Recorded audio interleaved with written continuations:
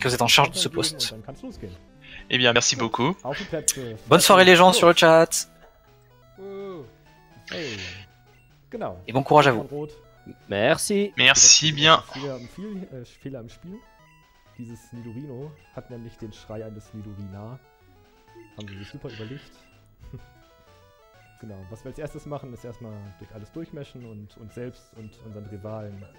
Donc du coup, il manque encore, euh, il manque encore Vatsu. Il va devra, il devrait arriver dans très peu de temps. Et donc du coup, nous sommes partis pour une euh, fabuleuse run de Pokémon Rouge, un jeu qui n'est absolument pas connu chez nous, hein, donc ça va être un petit peu compliqué de le, de le présenter. Ouais, mais on va, on va, on va essayer. On va essayer. On, on devrait y arriver peut-être. Ouais. Je pense que ça devrait le faire. Donc euh, Pokémon Rouge c'était du 98 si je dis pas de bêtises ou 99 Je sais plus. Sur la cartouche, euh, ouais, quand tu lances le jeu, c'est 97, 98, 99. C'est tellement compliqué avec euh, les sorties Japon, américaines et européennes qui sont jamais dans le... Ouais, c'est toujours un petit peu euh, n'importe quoi. à la même date. Et donc, du coup, euh, notre histoire, nous sommes simplement un petit garçon de 11 ans qui euh, va apprendre la vie euh, en prenant un Pokémon et en partant vivre des aventures extraordinaires au lieu d'aller à l'école. Eh oui, monsieur. Donc du coup, euh, il vient tout de suite euh, de clore un débat sur quel est le meilleur starter, évidemment. C'est Salamèche. Non, je déconne, c'est Carapuce. Carapuce qui est idéal pour, euh, qui est idéal pour, euh, Pour le début de la pour le début de la partie. C'est le, le starter le plus efficace pour, euh, pour euh, finir, euh, pour arriver jusqu'au premier badge, dont on parlera plus tard. Oui. Et euh, du coup, le, pour le début, en fait, au niveau des starters, euh, quand vous jouez en mode casu, le euh, Bulbizarre, on va dire, c'est pour les débutants parce que le début de la partie, euh, c'est euh, c'est simple. Ensuite, euh, Carapuce, c'est le niveau intermédiaire où euh, le début de la partie se passe bien et après, bon, c'est un peu plus compliqué. Notamment la troisième arène euh, qui est complètement contre Carapuce. Et après, Salamèche où c'est complètement ultra dur de Ah, la partie. désolé, problème de hangout. Tatsächlich. Ah, mais c'est bon, Formidable. t'es- t'es bon, t'es là, t'es parti. Bienvenue, euh, bienvenue dans la galère. euh,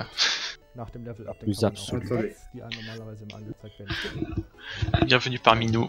Euh, merci, merci beaucoup. Et Alors, donc, euh, et donc, du coup, on prend Carapuce parce que voilà, première arène, on va bien dérouler et euh, il va être aussi utile pour plus tard, mais ça, on vous en parlera après. oui. Et là, on Alors, attendez, excusez-moi, je dois m'installer parce que voilà, hein, j'arrivais un petit peu en retard. J'avais le mauvais lien du hangout. Mais voilà.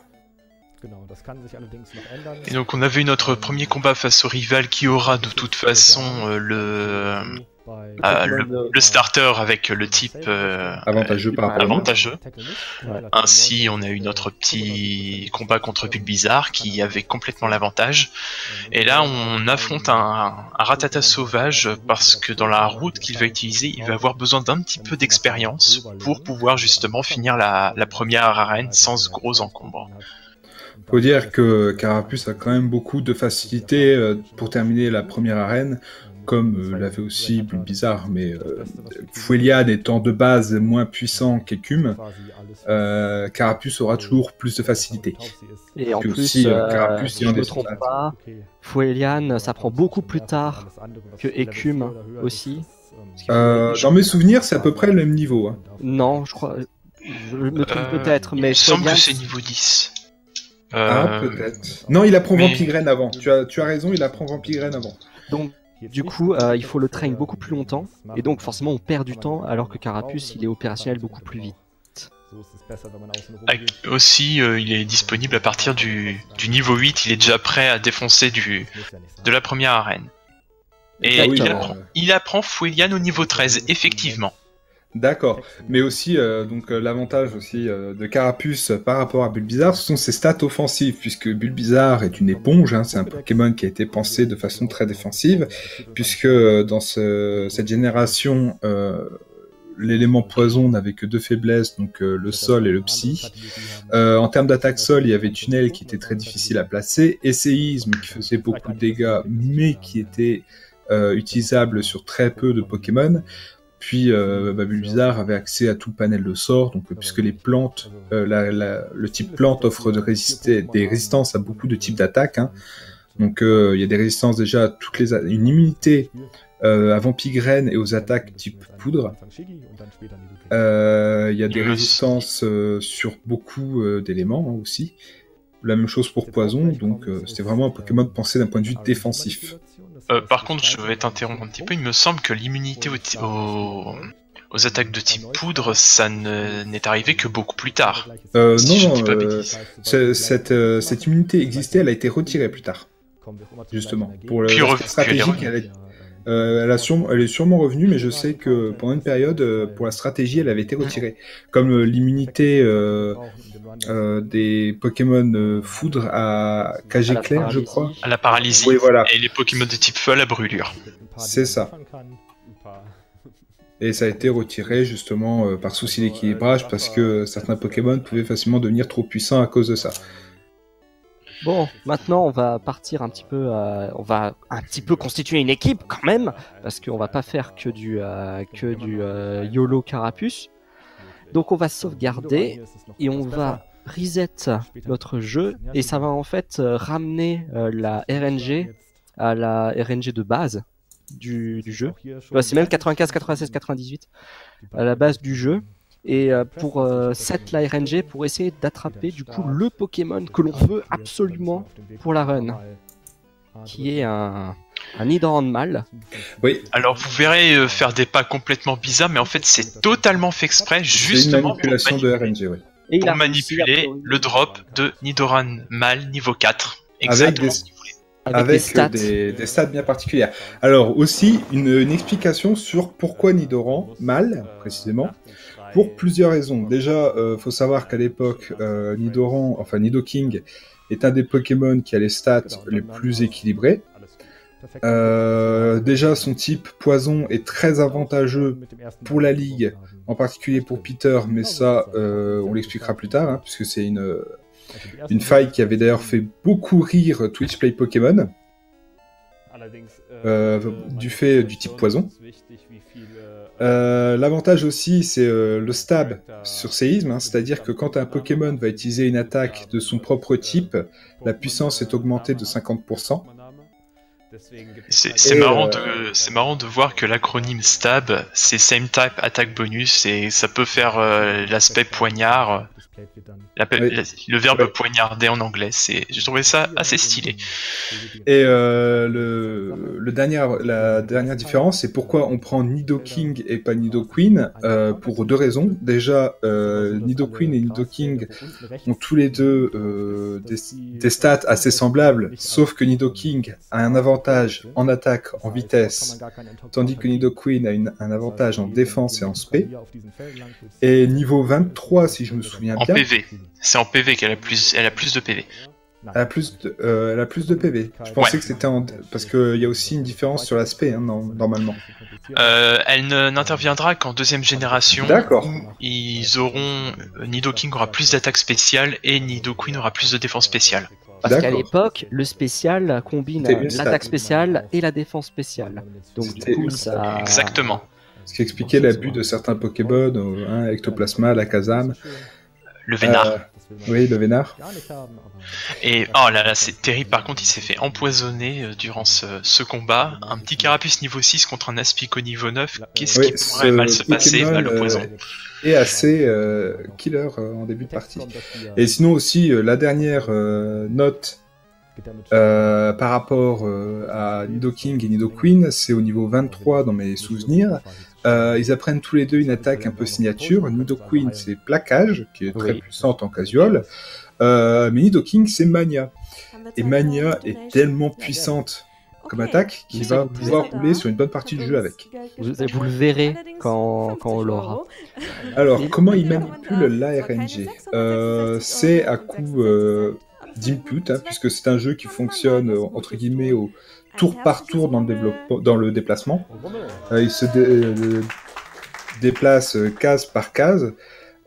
chaque mouvement, chaque input dans, le jeu va modifier certaines variables. Et après des tests et des tests, en... se déplaçant d'une telle façon, en faisant un tel nombre d'inputs à tel moment, on est capable de dire ce Pokémon va apparaître là, euh, avec ces stats-là et ce niveau-là.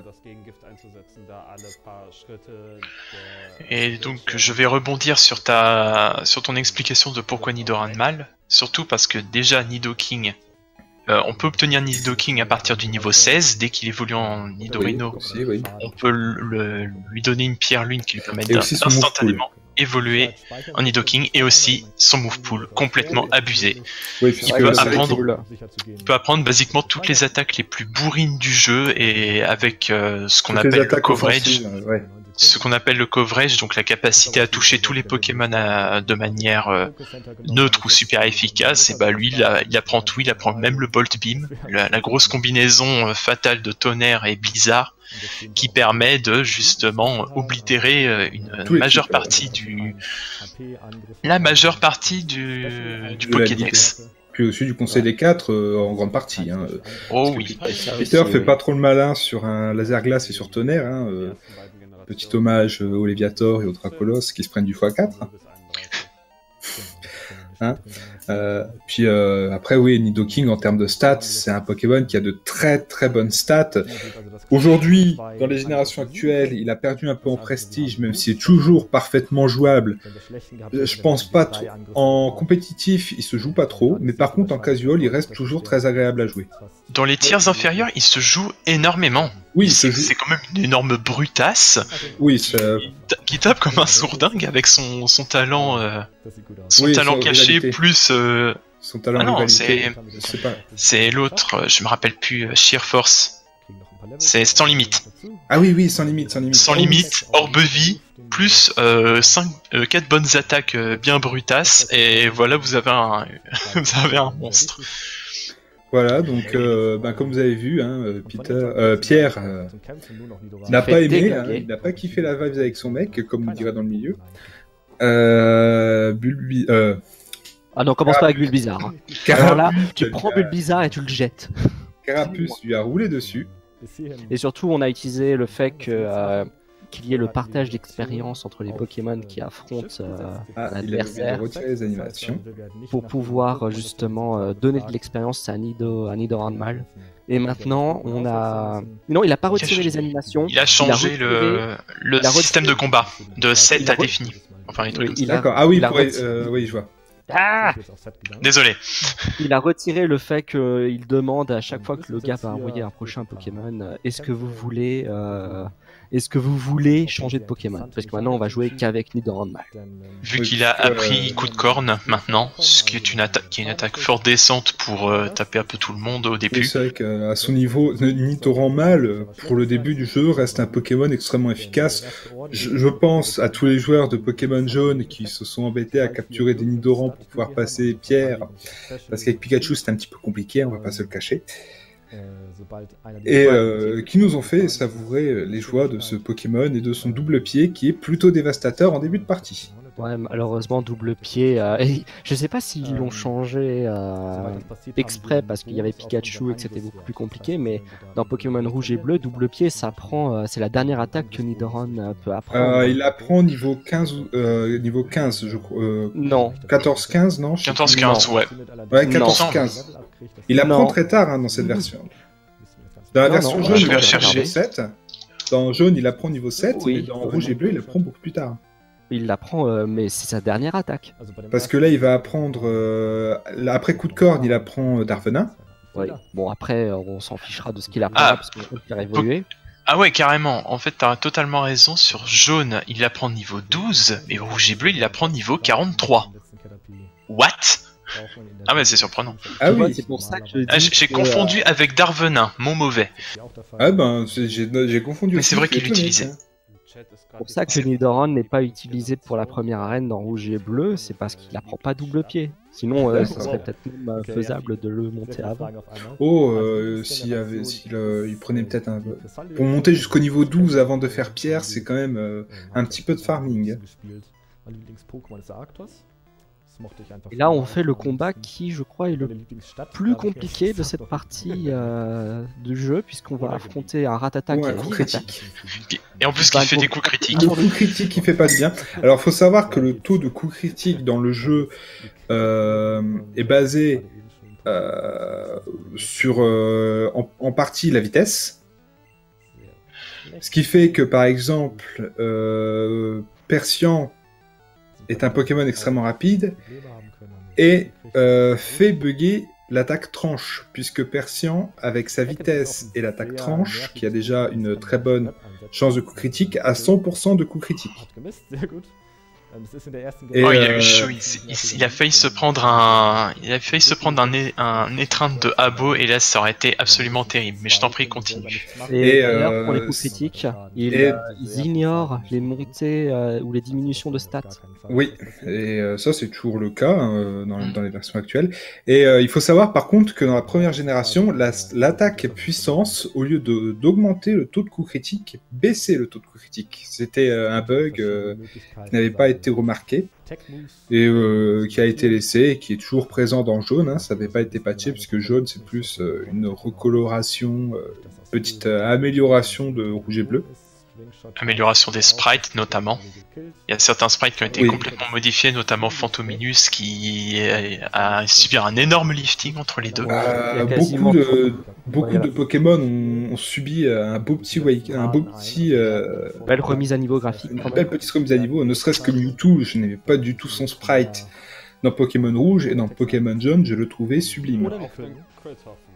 Après, bon, euh, Pokémon Argent, Or et Cristal, on va voir que le sprite là a quand même gagné euh, 10 niveaux. Hein. Ah oui, alors là, ça, on va pas, on va pas se mentir à ce niveau-là. À mes yeux, hein, à mes yeux, je trouve que les sprites de Pokémon Or Argent n'ont pas vieilli et je trouve qu'ils sont toujours magnifiques. Je suis totalement d'accord. Ouais, je suis d'accord avec toi. Je, c'est l'un des jeux auxquels je prends encore le plus de plaisir à jouer parce que que ce soit dans sa durée de vie, hein, quand même, hein, ces arènes, plus euh, les sprites, c'est toujours un plaisir à jouer. Mais là, euh, revenons à Pokémon Rouge. Bon là, on affronte un Chrysacier qui fait armure, donc, ah oui, donc euh, on va bah, essayer de prier pour les coups critiques. Chrysacier, ça reste un Pokémon qui est assez garanti niveau XP, même si le combat est assez long, l'XP qu'il donne est pas mauvaise, et euh, les combats sont plutôt garantis. Hein. Faut avouer que c'est pas bien compliqué. Alors, pourquoi euh, le runner parle au dresseur plutôt que de se mettre devant eux. Parce que si on se met devant eux, même si on se place juste devant leur visage, il y aura toujours une petite attente entre le moment où le dresseur nous surprend et le moment où le combat se lance, et Parce ce délai est est raccourci surpris. quand on lui parle. On va dire que lui-même, il est surpris qu'on lui soit pas venu lui parler, donc euh, il fait oh et après il nous parle alors que quand on Voilà. D'habitude, il, il prend le temps de bien nous agresser comme il faut, mais nous on va le voir et on l'agresse tout de suite, on lui laisse pas le temps de réfléchir. Donc là, l'objectif, euh, si on affronte des dresseurs, c'est de 1 parce qu'on va dire que c'est parmi les premiers dresseurs vraiment obligatoires euh, de suite à devoir affronter. Alors ça la précision de, de Nidoking, euh, j'en reviendrai plus tard, puisque ce qui a été euh, modifié directement dans la deuxième génération, c'est que dans la première génération, la stat vitesse euh, avait énormément d'impact sur le jeu. Elle avait un impact sur la précision des attaques, sur les coups critiques, et aussi donc euh, ben, sur euh, qui attaque en premier, qui attaque en second. Euh, c'est pour ça que, d'un point de vue logique, les Pokémon Pato avaient tendance à, qui sont imposants, avaient tendance à avoir moins de vitesse, euh, mais plus de défense, que les Pokémon petits en avaient beaucoup plus. Sauf que certains Pokémon avaient beaucoup d'avantages par rapport à d'autres, vu la stat de vitesse, et vous allez comprendre avec Nidoking, euh, puisque ça viendra plus tard, que euh, cette stat de vitesse est facilement, on peut facilement la faire bugger, et quand on la fait bugger, euh, c'est du one shot d'ennemis non-stop. Ah oui, ça oui. Ça, vous Donc là, on capture le être Piafabec euh, pour avoir vol plus tard. hein. Ça fait voilà hein, toujours une manipulation pour euh, pour le faire apparaître. Et là, on n'entre pas dans le centre Pokémon puisque ça fait perdre du temps. On préfère donner des potions. hein. De toute façon, des potions, on en trouve un peu partout dans le jeu. Et là, on re-sauvegarde. On va sauvegarder parce qu'on va faire fait- une petite manipulation encore pour aller choper un, po- notre Pokémon extrêmement rare, notre euh, je dirais pas notre dieu, mais notre notre sauveur à tous, Paras. Ah, non, non, non, non, non. si, si, pas blasphémateur envers notre grand seigneur, le grand Helix. J'ai pas dit que c'était notre grand seigneur, j'ai dit que c'était notre sauveur. Non, notre grand sauveur, c'est Saint-Roux Carnage. Bird Jesus. Bird Jesus. Et aussi un truc très amusant pendant qu'ils se battent. Pendant qu'ils se battent avec leur euh, avec leur euh, leur Nos idéologies, nos idéologies, leurs croyances. Il va y avoir quelque chose de très amusant dans cette caverne, euh, notre première grotte. C'est qu'on va faire aucune rencontre jusqu'à ce qu'on souhaite une rencontre grâce à la manipulation de la RNG. Ce qui nous fait qu'on va pouvoir faire une route un peu particulière où on va pouvoir récupérer divers objets répartis dans la grotte. Oui, euh, sinon, ils il sinon ils s'embêteraient pas à faire tout le détour, c'est uniquement par manipulation pour éviter toutes les rencontres. Hein. Comme quoi, euh, c'est aussi ce qui a été euh, utilisé, c'est ce qui a nécessité aussi le, le relancement au début du, de, de la grotte.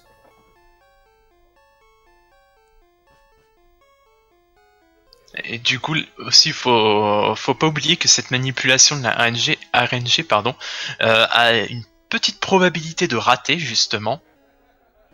Donc là, euh, récupération de. C'est dangereux. Euh, excuse-moi, je te coupe. récupération de la pierre lune qui va nous servir dès le niveau 16 du Nidoran pour évoluer en Nidorino, à le faire directement évoluer en Nidoking. Et c'est aussi pour ça que Nidoking est très intéressant, puisqu'à peu près dès le début du jeu, on peut avoir un Pokémon de stade 3. Euh, donc, hein, pour ceux qui ne connaissent pas trop Pokémon, il faut savoir que dans Pokémon, il y a euh, généralement trois niveaux d'évolution. Il y a les bébés Pokémon, les premières générations. Euh, les Pokémon, on va dire entre guillemets adolescents, donc c'est les phases intermédiaires, donc Reptincelle, Carabaf, ici Nidorino, et les Pokémon adultes. Et les Pokémon évoluent souvent par niveau. Sauf que euh, Nidorino évolue donc euh, en niveau 16 au Nidorino. Et on peut tout de suite utiliser une pierre lune pour le faire évoluer en Nidoking. Donc avoir au niveau 16 un Pokémon de rang 3, c'est extrêmement puissant. Puisque ses stats sont bien supérieurs à, tous les Pokémon qu'il va rencontrer. Alors pour ceux qui ont vu euh, ce qui s'est passé, c'est un, petit passage assez impressionnant. C'est non seulement à peine arrivé jusqu'à à peu près devant le devant ce dresseur, il est tombé sur Paras et a réussi à le, capturer sans même euh, avoir eu besoin de l'affaiblir ou quoi que ce soit. C'était une, un peu la Pokéball complètement YOLO et en fait c'était dû cette manipulation de la RNG qu'on a vu au tout début, euh, en entrant dans le, dans le Mont Sélénite avec le, Save and Quit. Tout a été prévu depuis le début, ne serait-ce que les, moindres, les moindres pas. Les moindres pas, c'était ça. Euh, tout est lié on peut le dire, hein, cette fois-ci, euh, tout est lié. Donc là, euh, un Nosferati, hein, euh, je pense qu'il nous a fait cauchemarder à de nombreuses reprises par leur grand nombre et leur ultrason.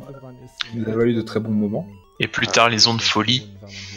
Ah, ondes folie, ultrason, mais qui ne rate pas. Si ça, c'est pas beau. c'est encore pire.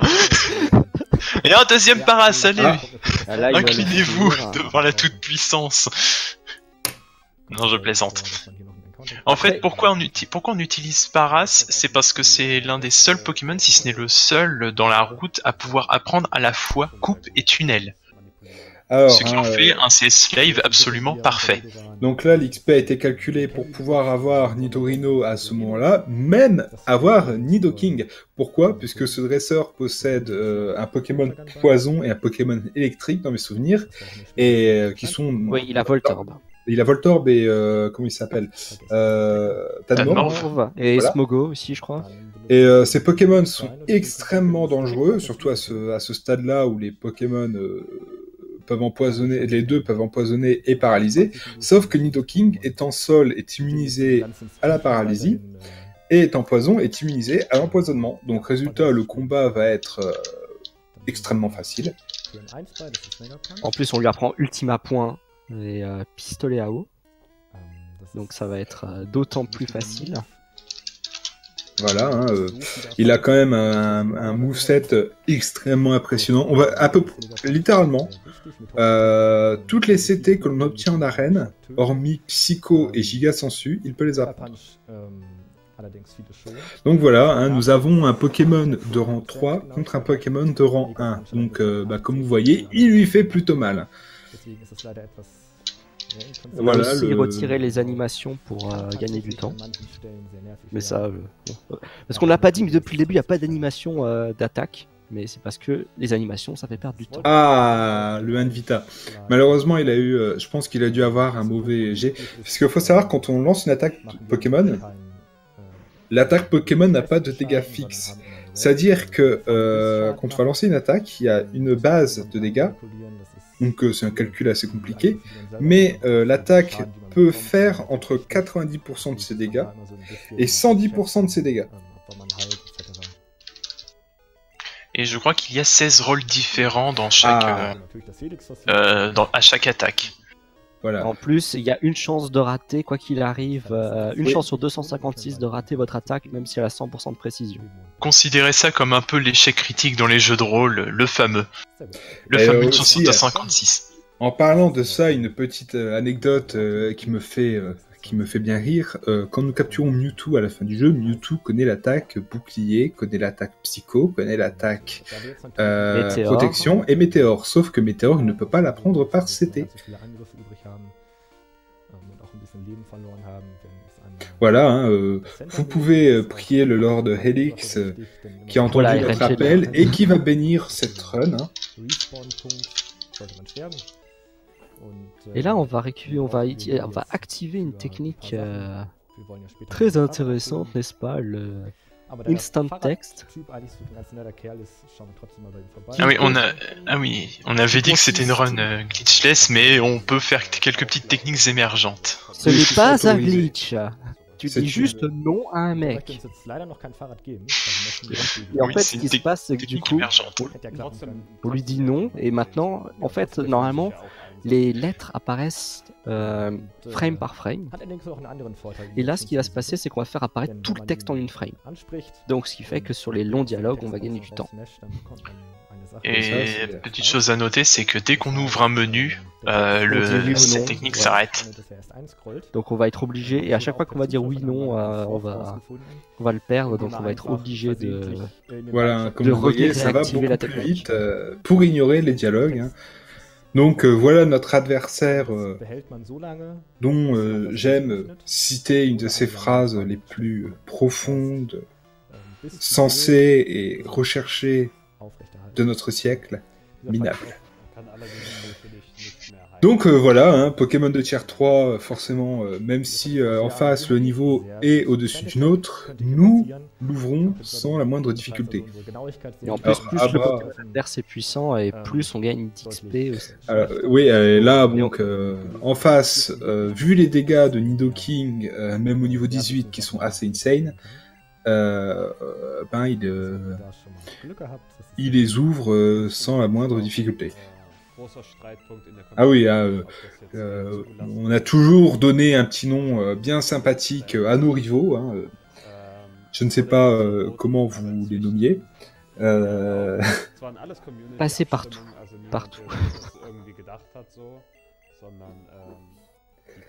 Moi, en général, je donnais un seul nom, mais je ne pense pas même si ça reste plutôt soft, je me garderai de le dire à l'oral. Donc le pont pépite. Le pont pépite, hein, c'est 5 dresseurs à affronter. Donc nous, on ne dit pas non puisque c'est de l'XP sans trop difficulté puisque les dresseurs sont plutôt faciles à faire. Mais de toute façon, même si tu disais non, bah ils t'affrontaient quand même. bah on n'a pas le choix. Euh, c'est ils t'agressent. donc, euh, Enfin, c'est facile, mais ça peut très vite mal tourner. Il suffit d'une petite RNG capricieuse et euh, la run peut être foutue en 2 frames et demi. Et là, c'est enchaîner 5 dresseurs, euh, 5 dresseurs plus ou moins de suite. On peut toujours aller euh, dans un centre Pokémon entre deux, mais ça prend beaucoup trop de temps. Donc, du ah coup, euh, la, technique, la technique safe, mais du coup, on préfère juste euh, ouvrir euh, tous les dresseurs en même temps. On a, on a le Pokémon pour ça. On a un Pokémon suffisamment puissant. pourquoi on run sur la version rouge et pas sur la version bleue Puisque les manipulations pour faire apparaître les Pokémon sont différentes, puisque le taux d'apparition de Nidoran mâle est supérieur dans Pokémon rouge, tandis que Nidoran femelle est supérieur dans Pokémon bleu. Dans, mes souvenirs, c'est lors du 75-25%. Oui, c'est probable. Ça. doit être de toute façon, oui, euh, Nidoran mâle plus dans rouge et Nidoran femelle plus dans bleu, et les deux sont capturables dans les voilà, deux versions. mais euh, l'un est plus rare dans l'autre.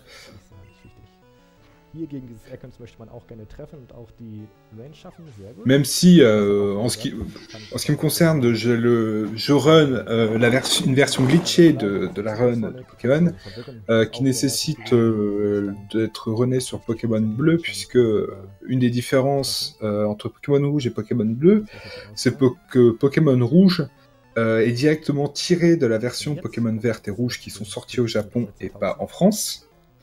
Euh, tandis que la version bleue a été développée après. Et euh, dans Pokémon rouge et, euh, et verte, Abra au casino coûtait plus de jetons, je ne sais plus précisément, que dans Pokémon bleu. Et comme ils n'ont pas changé ça dans Pokémon rouge, dans Pokémon rouge, Abra coûte plus cher en jetons que dans Pokémon bleu. Oui, les sprites, euh, les, sprites de Pokémon Rouge ont quand même assez mal vieilli, hein, on va pas se le cacher. Euh, regardez-moi ce, ce, férocinge en train de faire un cœur euh, avec ses mains. on dirait qu'il est en train de danser les YMCA, c'est magnifique. il était à 200 jetons sur bleu et 230 jetons sur rouge, c'est ça.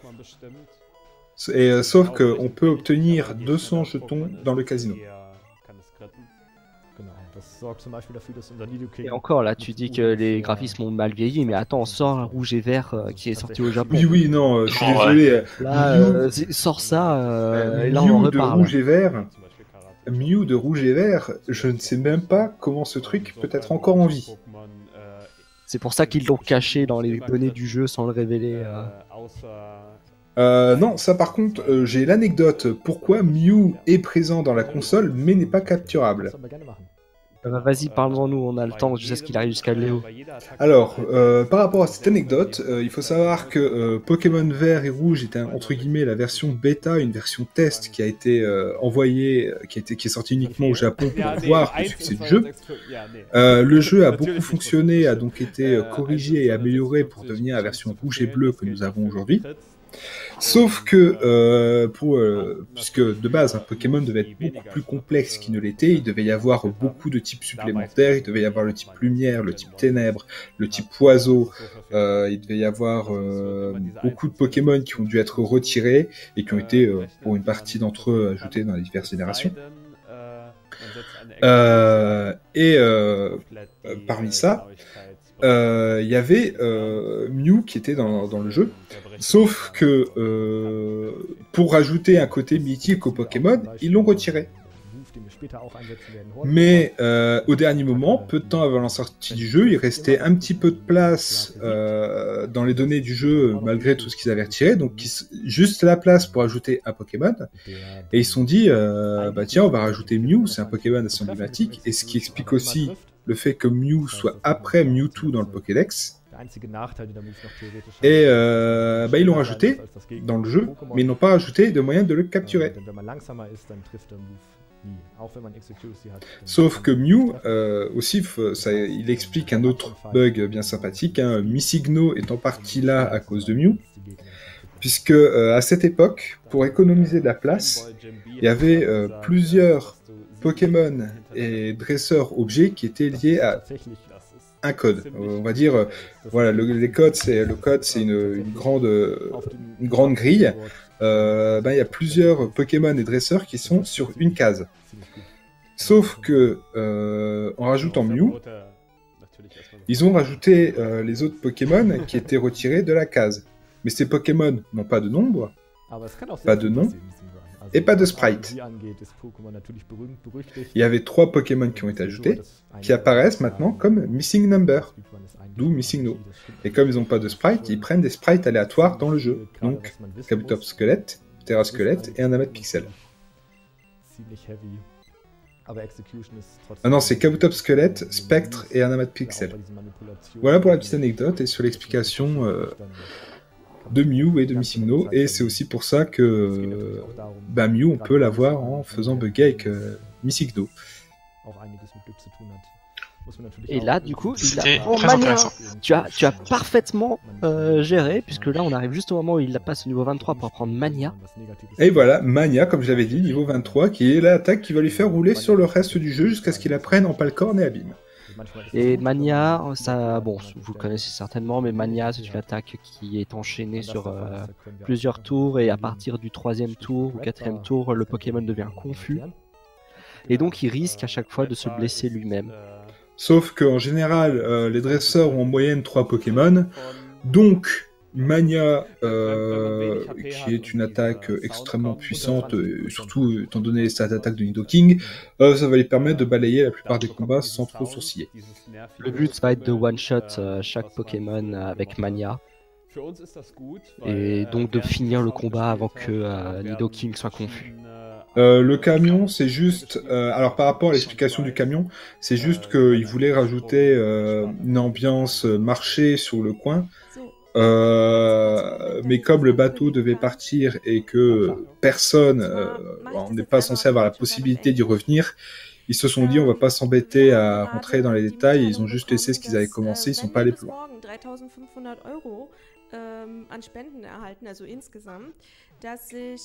Ah non, c'était pas un ROM hack. Alors, euh, par rapport à la GDQ où on a fait tourner, euh, où on a ouvert le camion et euh, fait apparaître News, c'était pas un ROM hack. C'est le joueur qui a euh, manipulé le jeu euh, d'une telle façon à transformer le camion en Mew sauvage. Parce qu'il faut savoir que Pokémon, c'est un jeu qui est très facilement, qu'on peut très facilement recoder directement dans le jeu. C'est d'ailleurs pour ça que euh, lors d'un AGDQ, Pokémon jaune était devenu Pokémon Play Twitch, puisque en recodant le jeu, le runner avait fait apparaître le chat Twitch sur Pokémon. Ah, C'était Pokémon rouge. euh, C'était Pokémon rouge, je pense que c'était Pokémon jaune, peut-être. C'était le rouge. C'était le task de Pokémon rouge et c'est ouais, c'est euh, Twitch Plays Pokémon ou un truc comme ça. Mais vous pouvez le trouver très facilement sur YouTube. Oui, il suffit de taper Pokémon Play Twitch et on le trouvera. Il est assez facile à trouver. Et là, on affronte le Rocket qui a Tunnel, qui va nous être extrêmement utile. Puisque Tunnel est une téléportation qui ramène au, euh, au centre, au dernier centre Pokémon visité quand on est dans, un, dans une grotte. Et il s'avère que le jeu considère les bâtiments comme des grottes. Pour la plupart des bâtiments comme des grottes. Oui, donc c'est-à-dire s'en que servir pour se téléporter. Le, le pauvre Gugus, on rentre chez lui, puis on demande à notre Pokémon de creuser un tunnel pour, euh, pour sortir de chez lui, c'est plutôt sympathique. On est en haut d'un building, on est en haut d'un building, on sort avec tunnel, y a pas de souci. Ils considèrent en fait les bâtiments, ces bâtiments-là comme des espèces de donjons. Ils sont codés de la même manière que, que les grottes et tout ce qui est, ce qui est comme ça. Et bah du coup, euh, c'est un peu une méca- c'est un peu une mécanique émergente du jeu. C'est pas vraiment un glitch. C'est pour ça qu'il est, il est autorisé dans cette, euh, dans cette catégorie. Oui, c'est puisque c'est euh, ils font apparaître ça comme des instances et euh, tunnel est utilisable dans les instances justement. Et là, on ça. commence le combat vachement risqué. Oui, c'est le combat. Alors là, lui, c'est- un enfer absolu, euh, surtout pour Staros. Ouais, puisque c'est le seul euh, le seul euh, champion d'arène qui a l'avantage sur Nidoking. Euh, pour ce qui est de Morgan, on la surpassera grâce euh, au boost dont on n'a pas accès euh, maintenant. Alors là, nous avons de la chance puisqu'il a Alors fait c'est On magnifique. lui a roulé dessus, c'est génial. Manu- Elle a été super gentille avec nous, elle nous a pas fait bulldo, elle nous a pas fait de coups critiques et pourtant malgré la basse vitesse de Staros qui lui permet de faire des coups critiques euh, au moins une chance sur violent, 5, ouais. une chance sur 5 voire une chance sur 4 de faire un coup critique c'est abusé, même sur bulldo. Euh, Il y avait moyen, il y avait moyen que ça, ça finisse très très mal. Buto Ouais. Critique, c'est un one shot ou c'est un two shot Ça fait très très mal. C'est pas loin Ça du met one shot. bien. ça m'est pas bien. Et Staros, c'est le Pokémon à ce niveau-là du jeu, peut-être à part, euh, non même euh, peut-être à part Nidoking. Euh, Staros, c'est le Pokémon que vous affrontez qui a la vitesse la plus élevée quand quand vous le rencontrez. Oui, à ce niveau-là, Staros a une base vitesse euh, de 120, si je me souviens bien. Alors 115. 115, alors que Nidoking n'a que 96 euh, dans mes souvenirs. Staros a une base de 115 et c'est à peu près la même vitesse que Persian quand tu avais donné l'exemple pour les coups critiques. Sauf que Persian euh, apprend Tranche qui a une base de 50% de coups critiques, plus sa vitesse font le truc à 100% de coups critiques. Et Nidoking, niveau vitesse, il était de 85. Ah, 85, d'accord. Je pensais qu'il y avait un peu plus. Il est pas si rapide que ça, mais ça lui permet quand même de dépasser quelques Pokémon assez clés. Pour cette génération, c'était une génération où les Pokémon étaient quand même excessivement lents. Hormis les Pokémon spéciaux comme Ectoplasma, Alakazam, euh, peu de Pokémon étaient extrêmement rapides. Il y avait Tauros qui était quand même le Pokémon metagame de cette génération, puisque sa vitesse, ses stats défensives et ses stats offensives lui donnaient un avantage en coup critique et une chance de, de réussir en palcorne assez accrue. Hein. Tout en sachant qu'il avait le type normal qui était le plus puissant du jeu avec le type Psy. Oui, puisqu'il avait un petit stab sur force qui était euh, pas mauvais. oui. Parlons de plaquage et d'ultra laser aussi, c'est encore plus rigolo. C'est vrai que... Ah oui, ultra laser. Parce que ultra laser, c'est The Goat. Alors, faut savoir qu'à l'époque, euh, quand les, les attaques, euh, ce qui variait sur l'attaque, la stat attaque et la stat SP, c'était l'élément. C'est-à-dire que dans, les, dans la voie SP, il y a une technique pour se souvenir des éléments de la voie SP, ce sont toutes les évolutions. Avec Dragon et Spectre. Euh, Spectre, c'était physique. Spectre, c'était physique à l'époque. Ah non, c'était parfaitement physique. Non, je suis, totalement, je suis totalement sûr, les attaques Spectre étaient physiques, Ectoplasma était spécial. D'ailleurs, c'est pour ça qu'en troisième génération, on utilisait souvent Ronflex avec Ballombre en stratégie, c'est une petite parenthèse, et Metalos aussi. D'accord. Bah attends, on va vérifier. J'en suis, j'en suis fort, je suis totalement formé. Mais euh, donc voilà, c'est comme ça qu'on reconnaissait les types euh, spéciaux, c'est par rapport aux évolutions qui sont tous de type euh, spécial, et le reste était type physique. Les types spéciaux, pour, faire, pour, faire, la liste feu, eau, plante, électrique, glace, psy, euh, dragon. Psy, ténèbres, dragon. Bon, ténèbres n'existe pas encore. Oui, pardon. Ténèbres n'existe qu'à partir de la deuxième génération, au même titre que le type acier, tout ça pour euh, rééquilibrer un peu le type psy qui était assez abusé à l'époque. Euh, sachant que le type euh, est aussi pour nerfer le type poison qui était trop fort. Tout la sortie du type acier. Et il faut aussi savoir que le type ténèbres était prévu dans la première génération avec le type lumière, mais le type lumière ressemblait trop au type psy comme le type oiseau ressemblait trop au type vol, et c'est la raison pour laquelle ils ont été retirés, et Ténèbres ressemblant aussi beaucoup au type spectre a été retiré aussi. Pour être rajouté la génération d'après. D'ailleurs, il y avait un truc, c'est qu'on pouvait faire des échanges entre la première et la deuxième génération. Et euh, on pouvait envoyer un magnéti euh, ou un magnéton dans la, deuxième, dans la première génération et il avait le double type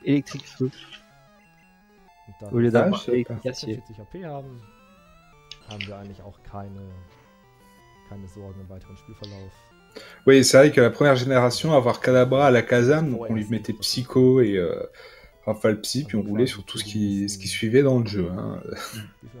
à la Kazam avait une base vitesse et une base speed qui était juste euh, insane. Euh, il était seulement dépassé, euh, il était seulement dépassé par Mewtwo. Et une base de 140 de SP, si, si je dis pas de bêtises. Mewtwo, a, lui, a 150 de SP ou 155 euh, 159, je crois. Je, je vais revérifier ça. Donc, rouge et bleu, on revient... Euh comment je fais? Du coup, à la Kazam 120 de vitesse, 135 de SP. D'accord, 135. Euh, il était, il me semble qu'il pouvait être dépassé par d'autres d'autres Pokémon. Ectoplasma avait plus de vitesse dans, mes souvenirs. Il avait plus de vitesse. Euh, je vais vérifier ça. Ah non, effectivement. Ah non, il, est de... il a 110 de vitesse. Il a moins de vitesse, a moins de spécial, mais il est un petit peu plus tanky qu'à la Kazam. Mais ah pas grand chose, hein, ça reste quand même une crêpe sur le physique. Oui, bah, après, Ectoplasma. Mais il devient beaucoup plus intéressant dans la deuxième génération avec l'apparition de Ballombre, Bomberk, des attaques qui le rendent un peu plus intéressant. en termes de type les attaques, c'est vraiment très limité. Mais physique, c'était justement plus intéressant parce que du coup, à la Kazam, il était très spé ah ouais, euh, effectivement. Si tu le tapes plus sur le niveau physique, tu lui infliges encore plus de dégâts. Mais... Ah, c'est pour ça de base de type psy et euh, spectre devait être un petit peu euh, noir et blanc. C'est aussi pour ça que Ectoplasma a hérité du type poison pour faire un équilibre entre le psy et le spectre, puisque le spectre est fort sur le psy et le psy est fort contre le poison. Oui, euh, non, Spectre n'est pas fort contre Psy dans la première génération. Si, si. Non. Psy est insensible à Spectre. Ah, t'es sûr? Ah ouais. Ouais. Parce qu'il y avait quoi comme attaque Psy dans la première génération? Les chouilles et euh, euh, Ténèbres. Non, Ténèbres n'avait pas de type. Oui, je sais, Ténèbres dans la première génération inflige des dégâts euh, du même nombre de dégâts que de niveau, et donc du coup, il est euh, sans type. T'avais que les chouillons de folie. Euh, quelle grosse attaque. C'est sûr que Ectoplasma avait du mal à briller avec ce genre d'attaque. Non, choc mental était psy. C'est ça. Et du coup, oui, psy est insensible à spectre. Dans la première génération. Ça a été changé dans la deuxième génération. Bah, étant donné la fréquence d'attaque Psy, euh, la fréquence d'attaque spectre dans, le, dans cette génération. Alors là, les poubelles. Alors il faut savoir le fonctionnement oh, des poubelles. purge. Là, c'est la manipulation de RNG, donc il a réussi euh, à retrouver directement les poubelles grâce à l'RNG. Mais il faut savoir qu'en fait, quand on trouve la première poubelle, euh, quand on trouve le premier bouton, euh, le deuxième bouton est forcément sur une des trois poubelles ou quatre poubelles en fonction de là où, on a trouvé le premier bouton, à côté de l'autre. Sauf, euh, enfin, si ça comptait aussi dans les coins, c'est-à-dire que si on allait dans le coin, c'était sur un des côtés, mais il pouvait aussi être de l'autre, du côté opposé.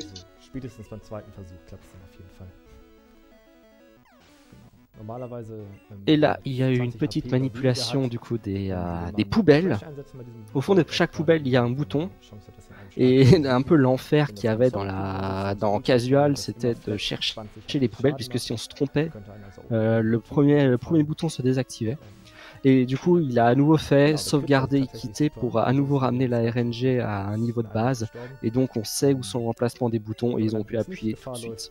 Et donc, il n'a pas eu de soucis, pas de perte de temps. Il est tout de suite allé affronter le lieutenant, euh, le major, Bob, le major Bob en euh, français. Ça a été facile puisqu'il est immunisé euh, au type électrique. il y a quand même Voltorb qui peut poser problème avec Sonic Boom.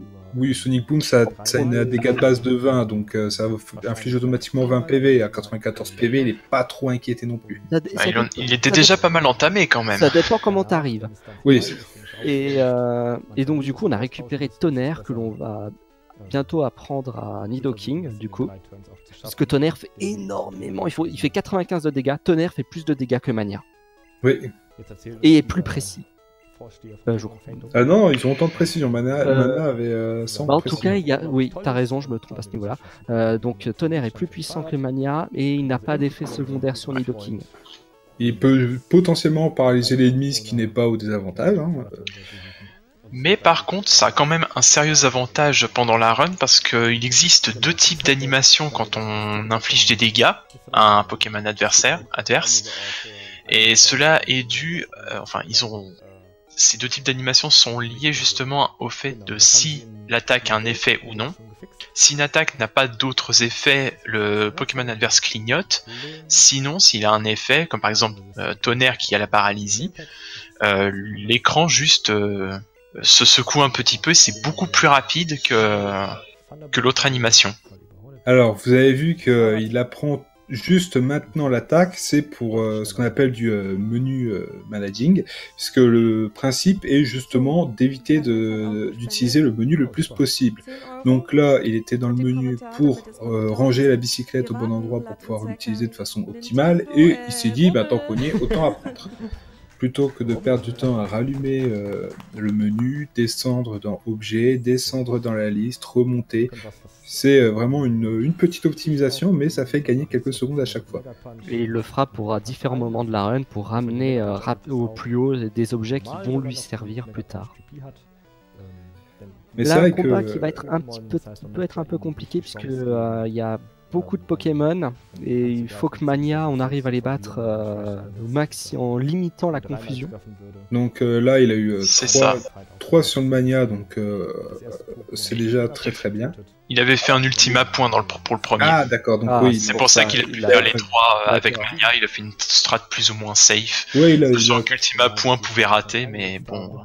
Après, ça, ça, reste quand même assez acceptable puisque Nidoking a quand même une bonne base vitesse dans cette génération, il, était quand même déjà pas mal. Exactement.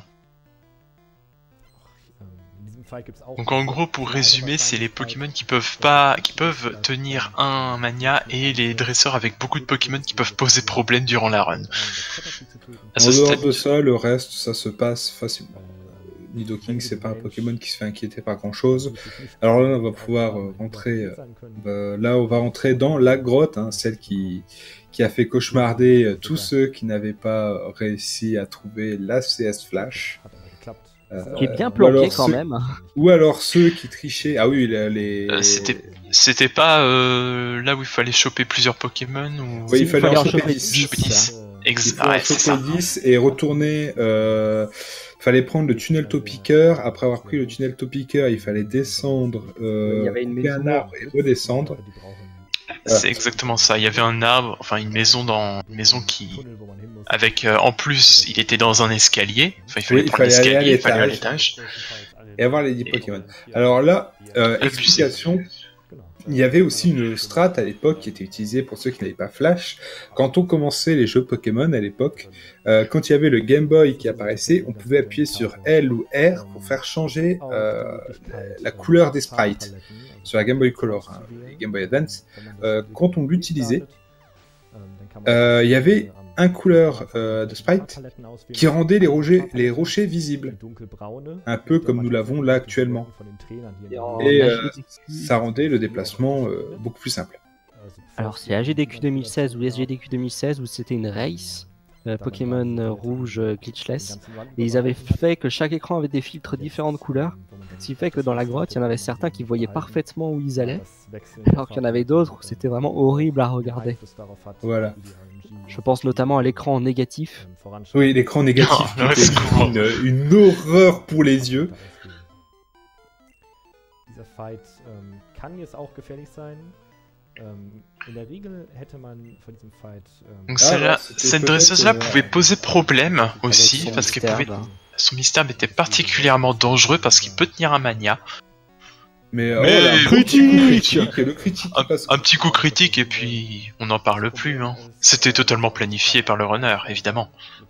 Donc euh, là après, euh, on va arriver sur l'avant-ville où là j'ai encore quelques anecdotes bien sympathiques à raconter. Est-ce que tu vas parler de la musique? Non, pas ah, de la, musique. quelque chose d'intéressant oh, sur la relation entre Osley et Kangourex. Ah, ah. Oh, oui, cette histoire. Oui, elle est Ça, c'est croustillant. Parce que j'ai euh, deux, trois informations bien sympathiques à ce sujet, hein, puisque je pense que, bon, tant qu'on y est, tant qu'il avance dans la grotte, je vais vous expliquer ça. Il y a beaucoup de. De, théories qui, qui, tournent autour du fait que Osley soit potentiellement euh, le Pokémon qui descende de Kangorex puisque dans la version, bah, il évolue en ossature euh, uniquement. Euh, sauf que euh, les joueurs, en fouillant un petit peu le code, ont remarqué que dans, la base de données d'Osley, il y avait avant quelques restes d'une autre, autre méthode d'évolution en utilisant CRS, ils ont réussi à reproduire cette évolution. Et ils ont remarqué que cette évolution prenait euh, un Pokémon donc complètement buggé puisqu'il n'a plus d'identité euh, qui apparaît sous le nom de M. Et ce Pokémon a exactement les mêmes stats que Kangourex.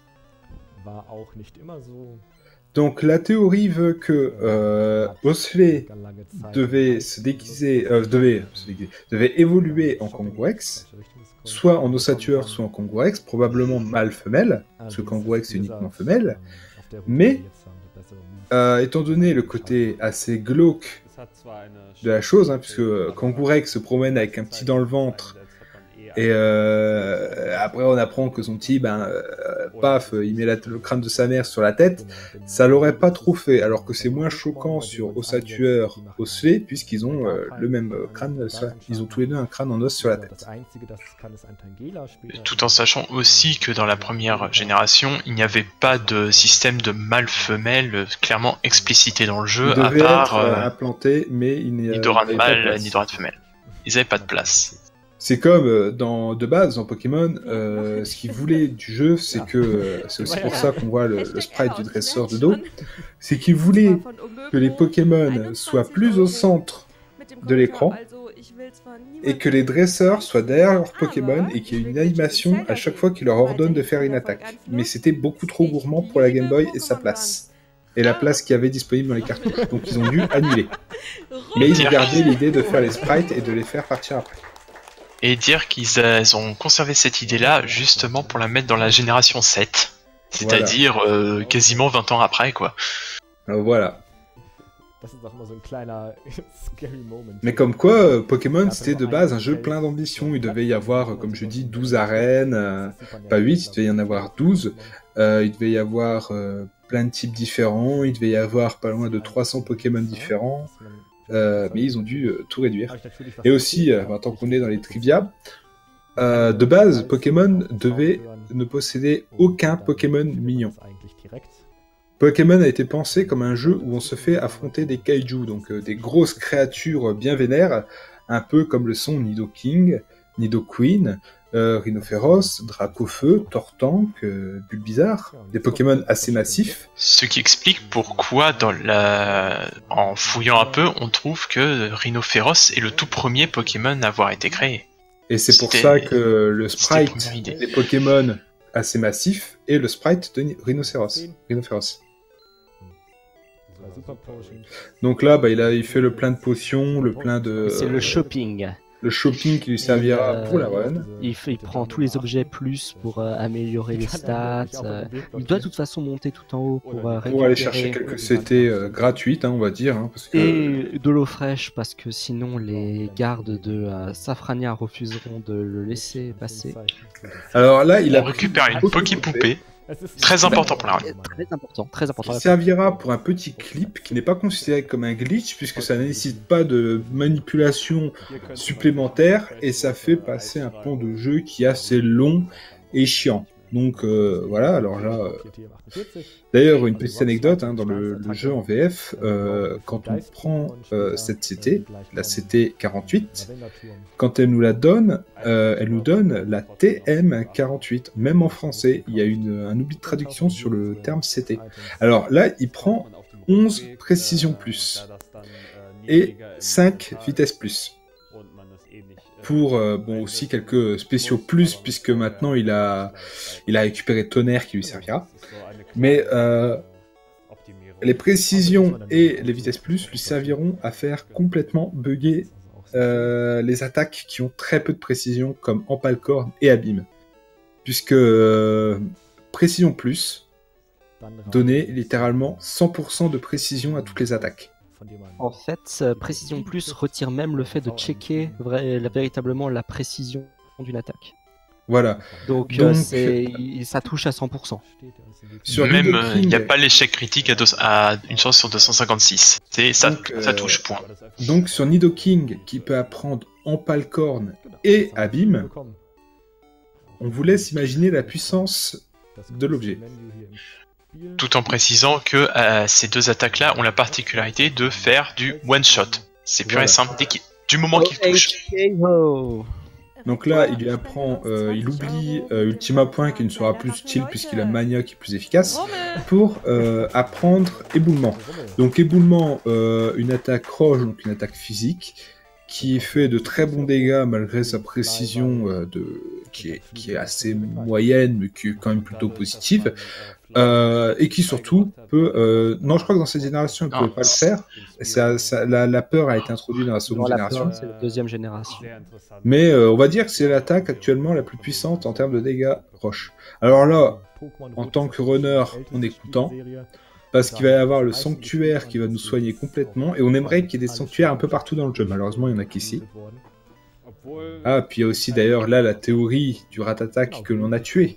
Je sais pas si vous connaissez cette théorie. Ah oui, parce que c'est le rat-attack qu'on voit plus après. Oui, il dit euh, là, dans, ce combat, nous allons voir un rat-attack que nous allons vaincre. Et plus tard euh, dans le jeu, nous allons mentionner, il va, euh, le, rival va mentionner un de ses Pokémon qui est blessé, et c'est pour ça que ces Pokémon étaient inquiets et qu'ils n'ont pas pu se battre de façon optimale, et nous ne reverrons plus jamais ce rat-attack. Donc il y a des théories qui disent que bien qu'il soit devenu maître de la ligue, il avait perdu son envie de se battre à cause de la mort de son Pokémon. Donc euh, bon, après, ça reste que des théories, mais je trouve que cette trivia est quand même assez intéressante à savoir. Eh oui, Pokémon, euh, c'est quand même assez glauque. Hein. D'ailleurs, si vous avez beaucoup aimé euh, Pokémon, je vous conseille de regarder les 4 OAV de Pokémon Origin qui reprennent parfaitement l'esprit de Pokémon Rouge dans une animation, une ambiance plus mature que la série originale. C'est-à-dire que les combats dans Pokémon Origin sont de vrais combats. Et j'ai trouvé très agréable à regarder. Donc euh, ils, sont, ils se trouvent assez facilement. Je vous conseille de foncer si vous êtes euh, un peu nostalgique de Pokémon. Ça fera forcément son effet. Et pour revenir sur, la, sur éboulement, euh, c'est l'une des deux seules attaques de type roche et c'est la plus puissante, l'autre étant jet de pierre. et effectivement, il n'y avait pas d'attaque, de, il n'y avait pas de système d'apeurement qui a été introduite en deuxième, euh, deuxième génération. Il y a quand même un truc bien dommage dans la première génération, c'est que certains types ont vraiment très très peu d'attaques. On pense surtout au type insecte.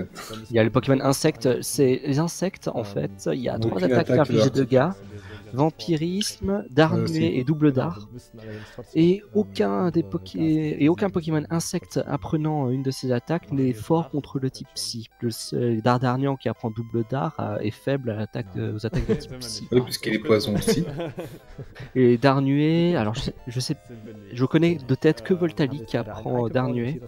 Euh, il y a Kokias aussi. Il y a Kokias qui apprend aussi, mais du coup aucun Pokémon de type insecte. Euh, Darnué, il y a, y a toujours euh, Dardarnian et il y a Voltali. Point.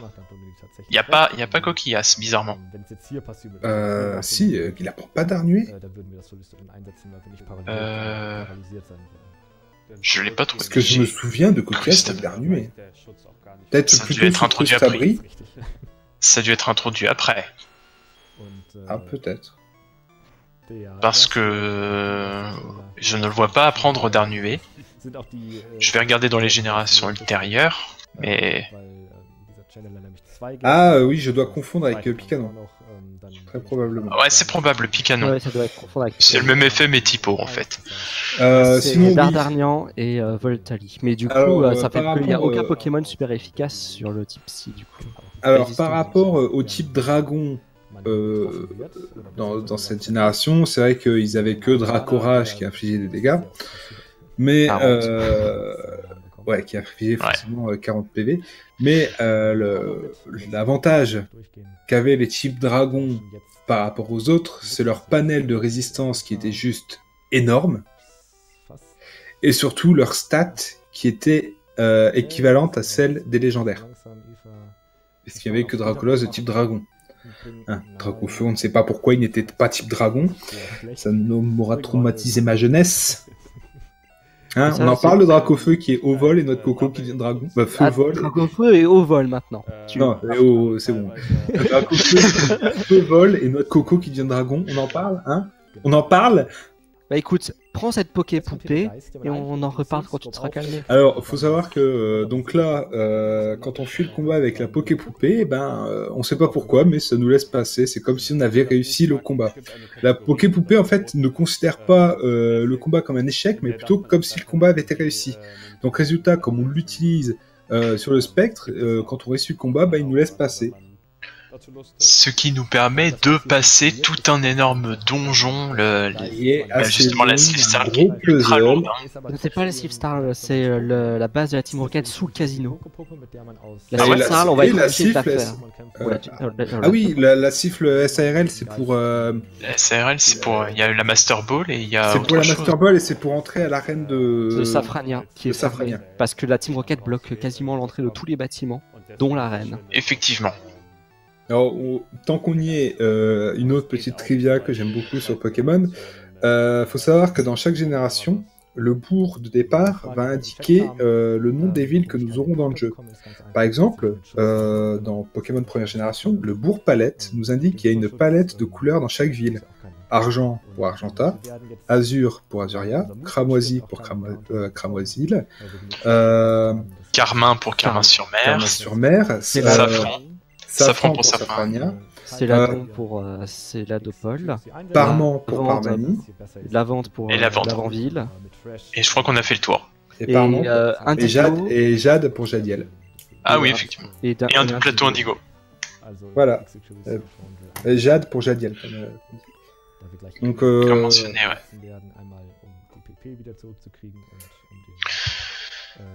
Et euh, Et vous pouvez regarder avec chaque génération, c'est toujours la même chose. Hein. euh, Pour envol, Bourgeon. c'est des noms d'oiseaux. Bourgeon, c'est des noms de, de plantes. El Capitano spendet uns 10 Euro mit dem Kommentar. Scheiß auf Behaart Et les autres sont pas, euh, sont sans aucune importance, donc on peut les oublier. Après, Pour mal euh, parler des autres générations. Non, les- les- moi, je- je- j'aime toujours, j'apprécie toujours autant les Pokémon. Il n'y a que les, les dernières versions que je n'ai pas achetées puisque je les trouve sans intérêt.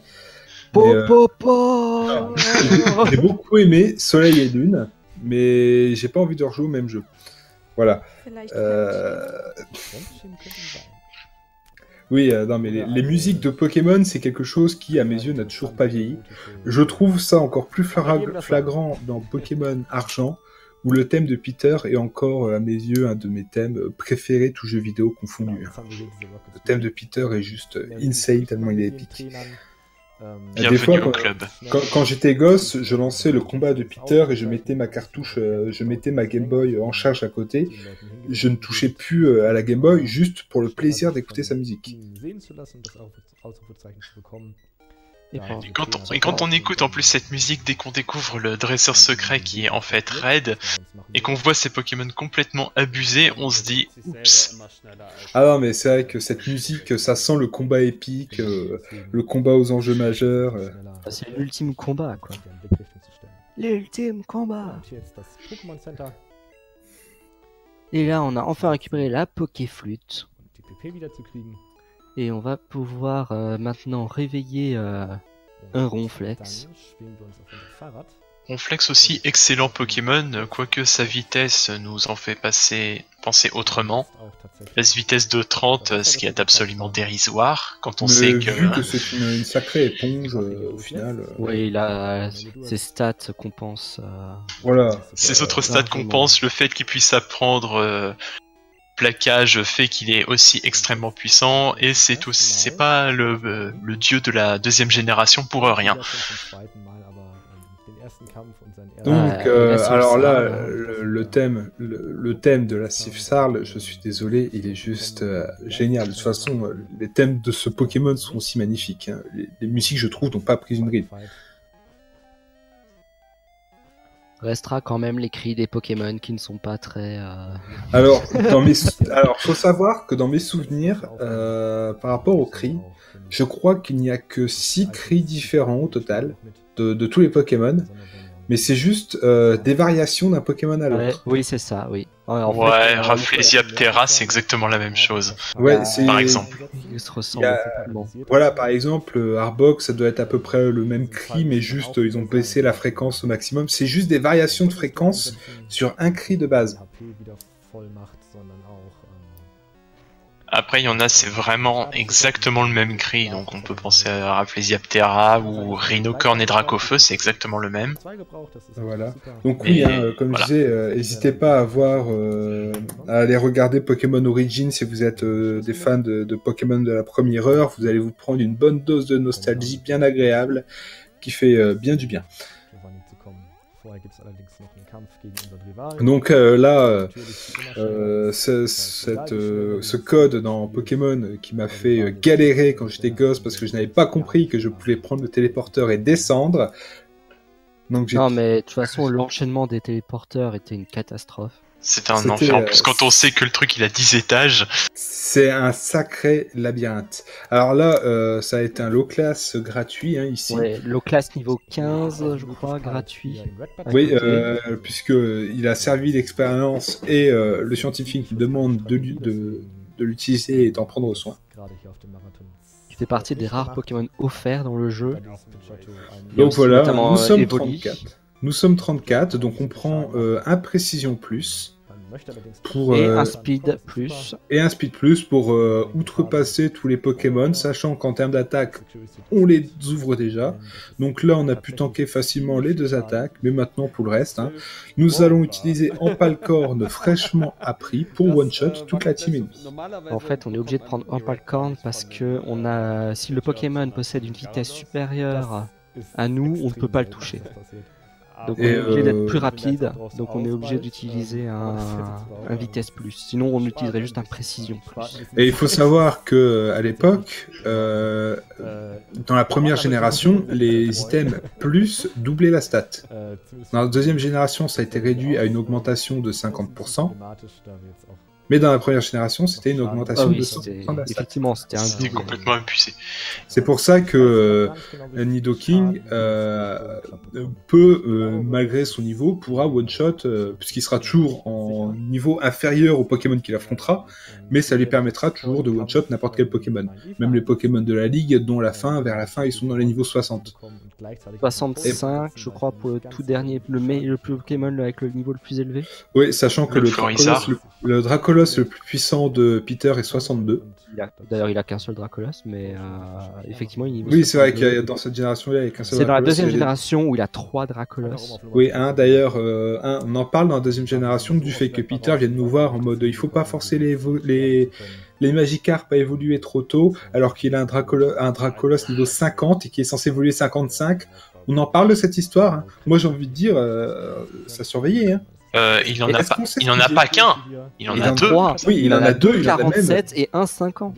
Ah oui, c'est vrai. Oui, il en a deux 47.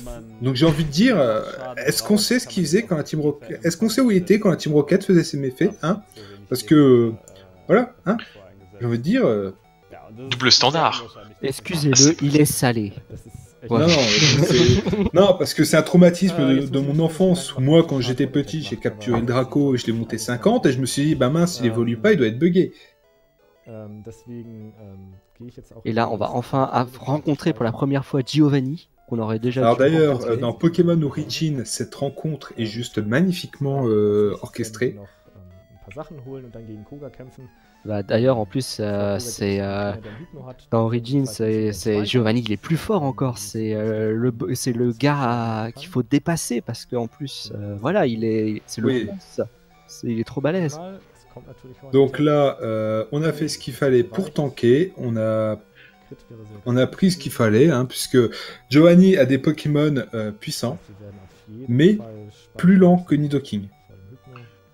Euh, il aurait pas fallu se prendre un coup critique à ce moment-là, ça aurait été fatal. là, le coup critique aurait été fatal. Donc là, euh, étant donné la, de, la stat de spé minable de la famille des rhinos féroces, et d'ailleurs, je trouve que Nidoqueen est le seul sprite magnifique de cette génération. Un des seuls, ouais. Je trouve un, un des seuls qui est vachement bien conservé. Qui est, je trouve que c'est l'un des rares euh, sprites qui n'a pas pris une ride. Et pour le coup de Rhinocorn, non seulement la stat de spécial était catastrophique, mais en plus il avait une double faiblesse au type O, ce qui rendait l'utilisation de Buldo complètement. Et aussi une stat de vitesse euh, des plus basses. Hein, euh, je crois qu'il n'a que 60 de stats de vitesse. Oh, il me semblait moins. Euh, à moins que je confonde peut-être avec Galaking, qui, a, qui sont des Pokémon assez similaires. Rhinocorn 25. Non, Rhinocorn, non, je parle plutôt de Rhinophéros. Rhinophéros, il a qu'à 40. Il est qu'à 40, d'accord, donc c'est Indoking qui a 60. Et ah, Galaking, 50. Ah, c'est Galaking à 50, ok. Ça fait longtemps que j'ai pas, j'ai pas fait de strat, donc euh, j'ai perdu un petit peu euh, mes connaissances euh, dans ah, les, stats. Ne t'inquiète pas, j'ai la page des stats ouverte et sous mes yeux pour justement corriger quelques. Après, je, je trouve que je m'en sors pas, je m'en sors pas mal, je reste un petit peu dans les moyennes. Oui, t'es pas loin à chaque fois du résultat, c'est ça qui compte. Alors aussi, de base, euh, dans la version japonaise, la Team Rocket, euh, c'est pas une team de mafieux siciliens comme on essaie de nous le vendre en Europe, mais euh, des yakuza purs et durs. Et c'est pour ça que qu'ils possèdent le casino, puisqu'il faut savoir qu'au Japon, euh, toutes les salles de jeux d'argent sont possédées par des yakuza. Et c'est pour ça qu'elles sont censées être interdites, mais qu'ils ne peuvent pas faire grand-chose pour les fermer. Voilà, pour expliquer aussi euh, la puissance euh, de la Team Rocket et le fait que la police ne fasse rien pour l'arrêter. Mais que fait la police? Et d'ailleurs, euh, un des motards que nous avons croisé, quand nous l'affrontons, il nous dit You only live once. Que l'on peut traduire par YOLO. Voilà. Donc, euh, Pokémon est à l'origine de YOLO. Pokémon YOLO avant que ce soit cool. Voilà. Hein, Pokémon vite. euh, swag avant l'heure. Oh, c'était un jeu avant-gardiste. Hein. Oui, euh, c'est surtout euh, des, des pachinko qu'il y a au Japon, mais il y a aussi euh, le peu de casino qui- qu'il y a euh, vraiment au Japon. C'est euh, voilà, j'ai dit casino de façon générale parce qu'on n'est pas tous adeptes de la culture japonaise. Moi, avant de, de m'y intéresser, je connaissais. On m'aurait dit pachinko, j'aurais dit sympa. C'est quoi ce Pokémon quoi? Je le connais pas. Pachinko T'imagines Et c'est un jeu aussi très adepte des Sokoban. Pour ceux que ça a traumatisé euh, hier. Oui, oui, non, non, non, non, chute. Euh, Tout non, en rappelant justement que le runner est aussi... euh, c'est le même runner qui a fait Out of Gas. La... Je me semble que... Il me semble que c'était lundi. C'était ça, lundi soir. Donc, euh, Il doit y avoir un lien. Donc là, il a utilisé euh, l'élixir sur euh, Nidoking. Donc l'élixir, euh, qu'est-ce que c'est? C'est un item qui rend 10 points de pouvoir à toutes les capacités. Parce qu'il faut savoir que les capacités ont un nombre limité. On n'a pas de mana dans ce jeu, mais on a un nombre euh, limité d'utilisation de capacités euh, par Pokémon, euh, entre deux soins. Euh, sauf l'élixir qui permet de donner 10 points de, euh, à tous les sorts. Étant donné qu'en Palcorn a 5 de capacité, euh, voilà. Alors là, qu'est-ce qu'il vient faire euh, ici? Alors déjà, C'est le parc safari, déjà. le parc Safari, euh, on en parle de la musique, hein, le thème de l'évolution joué en boucle. Euh, aussi, euh, je pense que vous connaissez la rumeur euh, quand on était gosse, comme quoi il y aurait Mew dans le parc Safari, mais ça, nous en parlerons plus tard. Donc, euh, il est parti chercher euh, la, le comment s'appelle euh, la dent en or qui lui permettra de récupérer la CS Force, et il est aussi parti trouver la cabane du pêcheur qui lui donnera la CS Surf. Alors, sachant Qui est Sachant bien que ça, ce n'est mentionné nulle part dans le jeu et qu'il fallait se lever tôt quand on est gosse, qu'on avait 8 ans pour trouver ces, ces, ces deux endroits, puisque euh, ben, le nombre de pas est quand même assez serré. hein. On n'a pas le droit à beaucoup d'erreurs pour trouver ce, euh, ce Gugus. Oui, le nombre de pas étant limité dans le parc safari, euh, et donc du coup, euh, et ça a été un petit peu une, euh, une grande aventure de, de trouver le passage jusqu'à. Donc là, euh, Pour le- sortir du parc safari, on fait tunnel. hein. Et pour l'anecdote, il a... Le nombre de pas de Safari, c'était 500. On nous a autorisé que 500 pas dans le Safari. Donc à chaque fois qu'on les épuise, on revient, euh, on revient au, départ et on doit repayer pour pouvoir, euh, pour pouvoir y rentrer. Et quand il est arrivé et qu'il s'est retéléporté vers Céladopol, il en était plus qu'à 250, avec un chemin particulièrement optimal. Voilà. Donc, ça veut dire qu'il a utilisé la moitié de ses pas avec un, par- avec un chemin optimal, sachant qu'il connaît parfaitement le chemin euh, pour, pour y accéder. Alors, on imagine quand on est gosse qu'on a tendance à se dire Oh, peut-être que là-bas, il y a un- peut-être que là-bas, il y a le Vénard, peut-être que là-bas, il y a un ce chemin doit mener à Mew. Donc, forcément, après, pour trouver le bonhomme avec sa CS Surf et la dent en or, il fallait prendre un peu de temps et dépenser quelques Poké dollars.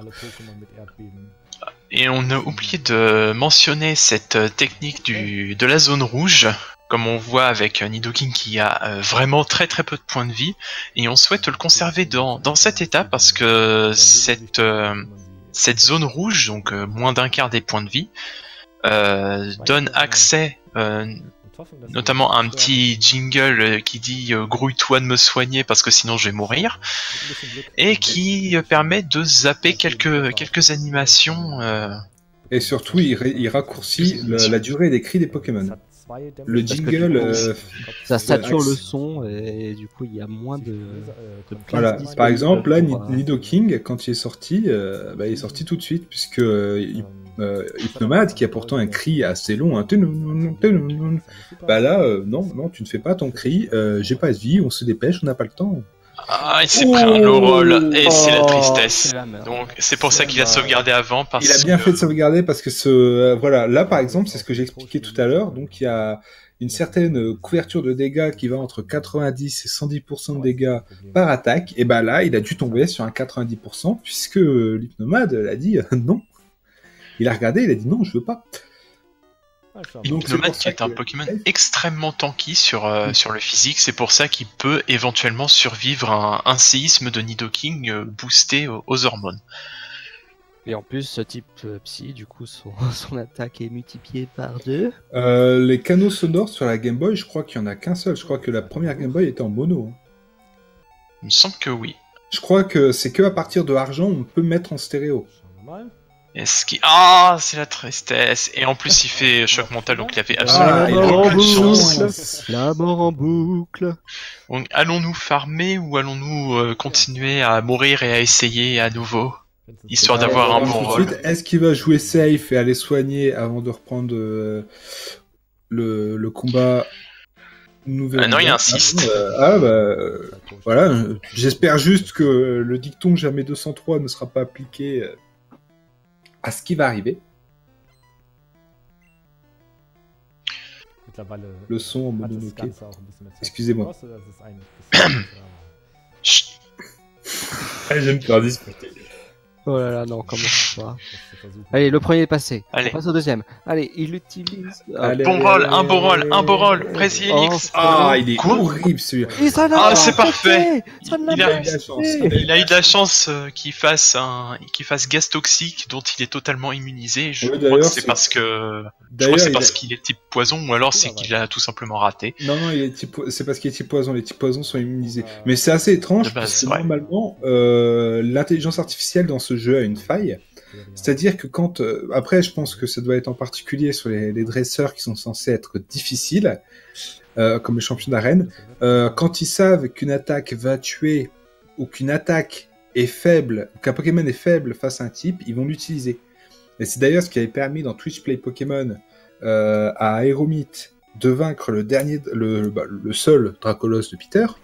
C'est parce que comme Aeromite était de type poison, euh, Dracolos, qui possédait une attaque Psy-Hat, enchaînait cette attaque.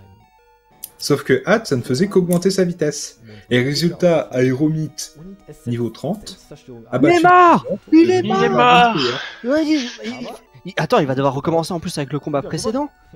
Mais c'est... Ah non, C'est bon. mais non, il a, il a gagné puisque. Smogogo Ah, a a fait sa technique de kamikaze. Il a fait destruction, d'accord. ça va impliquer un retour. euh, ça va impliquer un retour euh, au centre Pokémon pour amener Nidoking à la vie.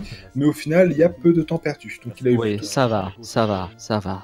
Effectivement. Mais non C'était une blague Parce que c'était... Franck, Franck, ça tourne bien. Et en fait, en venant que, super euh, bonbons, eh bien, il va regagner des PV et on va rester dans la red bar. Voilà, puisqu'il le temps. de, il le monte de niveau et euh, dans, dans ce jeu, quand on te monte de niveau et que ta stat, ta, ta base de PV augmente, euh, tes PV actuels augmentent aussi. Donc là, il va rendre euh, les, les dents à, à- à grand-père. Hein, euh, tiens, voilà, toi tu ne pouvais pas parler parce qu'il te manquait une dent. Je plains certaines personnes sur cette terre. Euh, donc maintenant, tu as obtenu force et force. euh, ben, va être utile pour le reste du jeu.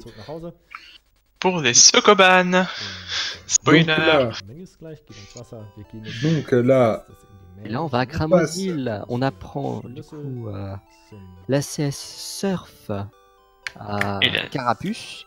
Notre petit starter qui en va enfin avoir une petite utilité, en plus d'apprendre la CS Force. Alors tard. pourquoi on passe par ici pour aller à Cramoisil Parce que euh, en passant par le Bourg-Palette, ça nous évite de passer par les îles Écumes. des îles écumes qui sont aussi un labyrinthe avec des sokoban. Miam Et sachant que les sokoban des îles écumes ne sont pas les plus simples. Beaucoup plus galère que dans la route victoire. Que Ah oui, la route victoire, les sokoban, ils sont quand même assez gratuits. hein. Ils sont un peu longs parce qu'il faut traîner les, les rochers sur 25 km, mais à côté de ça, ils sont plutôt gratuits. Alors, le manoir, hein, aussi, le manoir qui a affolé les foules avec euh, toutes les informations sur Mew, qui laissait théoriser que Mew, euh, voilà, hein, on est tout, je pense qu'on est un peu tous à avoir vu euh, Mew et né tel jour, et ce jour-ci avoir lancé notre version Pokémon et fouillé tout le manoir pour voir s'il était là. En plus, avec la petite référence avec le, le film 1 où, euh, où euh, t'as euh, justement la création de Mewtwo aussi. Oui, d'ailleurs, Nous avions euh, un rêve de créer le Pokémon le plus puissant du monde et nous avons réussi. D'ailleurs, euh, petite anecdote, le film 1 devait être le dernier, le, le seul et unique film pour conclure la série Pokémon. Euh, la fin originale de euh, Pokémon 1 est trouvable sur internet où on voit euh, le Pikachu de Sacha euh, tenant la casquette de Sacha partant rejoindre Ondine qui tenait la main d'une petite fille. Donc, dans la série originale, Sacha devait se terminer avec Ondine et au revoir, c'était terminé. Ça devait être ça la, fi- la fin euh, du film. Mais euh, quand ils étaient en cours de production du film, quand ils ont vu euh, le succès grandissant leur portefeuille, ils se sont dit ce serait con d'arrêter maintenant. J'aime l'argent. Donc voilà, hein, la passion, bon l'argent. la passion a voulu pousser les gens à continuer la série et c'est pour ça que euh, ben, C'est pour fin, ça qu'on se euh, retrouve avec 21 films, euh, 40 Et c'est et saisons c'est surtout pour ça qu'à la fin, ils ont improvisé en disant euh, Mewtwo euh, est apparu et a dit euh, Bon, bah écoute, tu te souviens de rien, je t'efface la mémoire, au revoir. C'est beau la passion. Voilà, la passion, hein, euh, comme, euh, comme le dit le chat, hein, la passion euh, avec deux grands S. hein. Donc voilà, c'est pour ça que Pokémon le film est terminé ainsi. Ah oui, ah non mais en tant que Pokéfan, je vous préviens que les trivia sur les jeux Pokémon, sur la licence Pokémon, j'en ai mais à ne plus savoir quoi en faire. hein. Là, on va enfin affronter Erika, qui est censée être notre quatrième championne. Que là, on Donc, euh, là, on en l'a on la surpasse en niveau, on va lui rouler dessus, elle va pas comprendre ce qui se passe, avec le vieux pervers qui traîne devant l'arène, quand on lui parle, fait- il dit « Oh, sympa, il y a plein de filles dedans En fait, il faut savoir qu'à la base, normalement, dans toutes les arènes, vous avez un, un vieux monsieur qui est censé vous euh, aider en vous donnant des conseils euh, sur le type de l'arène pour vous aiguiller sur euh, les Pokémon que vous devriez prendre. Et c'est la seule arène où la personne qui est censée faire ça est dehors. !» Ah, en train de se régaler. Hein. En train de se rincer l'œil, rincer l'œil. n'est-ce pas Ah, Faire ouais. du lèche-vitrine. Et d'ailleurs, tortue génial. Ils font des Il y a des dresseurs dans l'arène qui font référence aussi à, ce, à cette personne. D'ailleurs, euh, aussi, euh, pour l'anecdote, hein, quand on était enfant, je sais pas vous, mais euh, en ce qui me concerne, quand j'étais à Cramoisil, euh, euh, pas, à euh, Cramoisil, euh, à Carmin-sur-Mer, euh, quand j'étais dans l'arène et qu'on fouillait dans les poubelles, quand ils disaient « Putain, dégueulasse !» je me sentais un peu thug dans ma vie. Ah, des gros mots Je sais pas si vous, ça vous faisait. Non, je- moi j'étais plus en train de rager sur le fait que j'appuyais sur un bouton et que ça. Ah non, moi j'ai rigolé parce qu'il y avait des gros mots, donc euh, voilà. euh, Quand Mais qui a pas rigolé en essayant de caser des insultes dans les noms des personnages ou des Pokémon quoi? Bah, mon rival, je l'appelais tout le temps du con, comme ça son compère il disait Ah, salut du con, comment ça va? Ah, j'en avais un autre, moi, mais je ne vais pas le dire. Quoique c'est à peu près dans le même genre. Et il faut savoir que. on, part sur un terrain glissant là. On part sur un Aujourd'hui, terrain glissant. oui. Alors, faut savoir qu'aujourd'hui, je joue toujours à Pokémon et ils ont toujours ce surnom.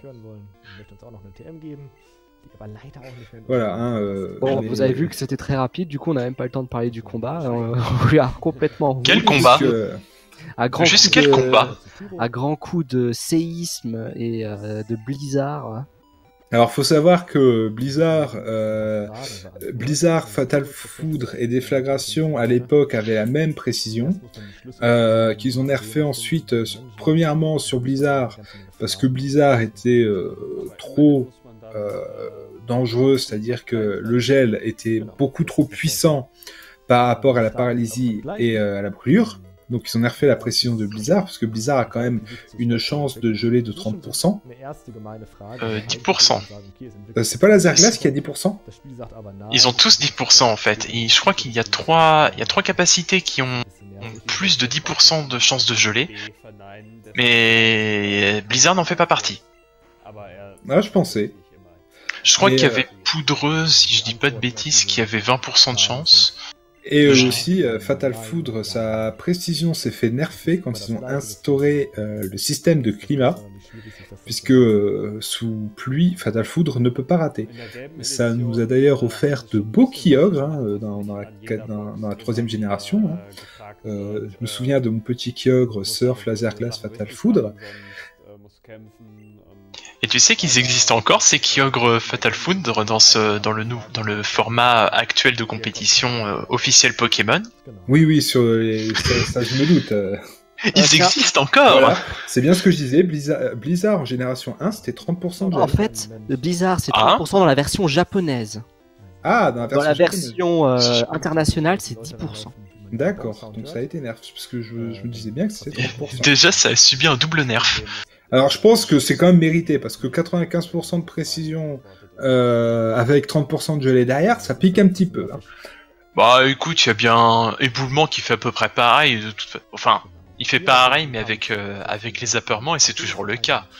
30% de flinch, Euh, Dans ce cas-là, on en parle de morsure quand t'es à bas niveau, hein, 62 dégâts, une base de flinch assez élevée. Euh, euh, 20% ça va. Bon, qu'est-ce qui pourrait mal se passer après tout C'est que 20%, 20% c'est 0%. Quoique, sauf quand c'est l'adversaire qui le joue sur toi. Ça, c'est la mauvaise foi. Donc euh, là, ben... euh, Un mauvaise forcément, foi euh, avec un S ou un mauvaise foi sans S? Donc là, forcément, euh, on l'ouvre. Hein. Avec un E peut-être. On a cette... Oh, oh Sauf qu'on dit un fois, on dit pas une fois. Oh, ça aurait été ma, drôle. foi, ma foi, les histoires de foi, j'en ai entendu des fois. Pardon. Il y a eu un grand renfort de séisme, euh, bah, on s'est débarrassé de l'équipe de Auguste et maintenant on va pouvoir... C'est vrai que la relation entre euh, les, les jeux japonais et le séisme euh, sont assez proches. hein. Terrain glissant, attention. Oui, arrêtons de là. Donc, euh, je ne sais pas si vous avez remarqué, mais depuis qu'il allait à Céladopol, euh, il n'a jamais, il n'est jamais rentré dans le moindre centre Pokémon pour pouvoir justement utiliser Tunnel et revenir toujours à Céladopol. C'est la Dopol qui est un petit peu le centre, euh, le centre régional de Kanto. Ouais, de le centre la- économique, la capitale C'est économique. c'est le, centre- le de tout en fait. On arrive à Safrania. Hein. Safrania, on connaît par cœur le chemin. Hein. Quand on le connaît pas, quand on est enfant, c'est plutôt galère. Euh, mais voilà, le chemin est assez simple, donc on arrive tout de suite. Euh, pas besoin de, de s'embêter à se préparer. Euh, Nidoking euh, va faire le taf. Nidoking MVP. MVP, hein. Non, mais ce, ce Pokémon est quand même juste King insane. Hein. Ce Pokémon est quand même juste insane. hein. On est toujours en red bar pour euh, continuer à gratter du temps. Et euh, actuellement, on surpasse euh, en vitesse beaucoup de Pokémon puisque euh, on l'a haut level en faisant quelques combats à côté, quelques combats annexes. Et euh, contrairement à la version jaune où elle ne possède qu'un Alakazam avec, une, avec un, un très haut niveau, C'est Abracadabra à la casa. Mais elle a que la famille de, Ouais, c'est ça. C'est ça. Son Alakazam n'était pas niveau 50. Si, il était niveau Si, 50. Il est niveau C'était 50. bien ce qui me semblait. C'est parce Et, que euh, je crois que dans la première génération, ils ont buff euh, les niveaux de quasiment tous les Pokémon. Euh, c'est surtout pour Euh, faire un peu plus référence. euh. C'est plus euh, pour faire référence euh, au dessin animé, puisque euh, Pokémon euh, jaune est vraiment un maquillage de rouge, mais euh, suivant l'animé. Exactement. Donc là, hein, il a utilisé la même technique, hein, on fait tunnel, euh, vol. Paras et euh, Piafadek euh, sont nos meilleurs amis. hein. Oui, c'est vrai On que... en parle- euh, On en parle qui prend une attaque seule. On en parle de Smogo qui est de Smogo de Kogat par Mani, Mani qui s'est pris aussi une attaque seule. Mais c'est pour ça là- justement qu'ils inventeront plus tard les talents pour euh, combler les. Ouais, euh, pour ajouter de la logique à certaines choses, et je trouve que les talents étaient une très bonne amélioration. euh, Ça n'empêche pas euh, Aeromite de toujours se prendre des séismes en pleine poire. c'est Écoute, il a besoin de se poser très souvent, c'est comme ça. Se fatigue, hein, il est comme tout le monde, hein, il a des sentiments. hein. Ce qui est bien Donc dommage. là, euh, bah, on Ce qui y est bien balance dommage un pour lui parce qu'il casse tout quoi. Alors ça c'est l'arène, ça c'est l'arène du de la lenteur. En fait, vous faut- marchez sur des dalles, Ah ouais. et ces dalles vous envoient dans des directions et vous tournez, mais à une vitesse. Et donc, ce qui fait qu'on va essayer d'éviter d'utiliser ces Comme sous mécanismes. le, sous le sol le casino, quoi. Euh, le casino, c'est la même chose. C'est le même donjon, on se demande pourquoi. Voilà, hein. Mais chut, on savait pas que dans le casino il y avait des. euh, Spoiler. N'écoutez pas les enfants. Matt On a pas Chopper, entendu- ce magnifique sprite de Matt Chopper qui, qui a... Il est mort Et c'est un crit Il est mort Voilà, c'est un crit. hein. Et c'est un crit. GG, il a été meilleur. Mais Matt Chopper, hein, on en parle d'un œil à Paris, l'autre à Pékin. Euh, Il y a, il y a Oh, quand même un petit problème euh, d'œil euh, sur ce sprite. Il y a peut-être une petite dissonance visuelle.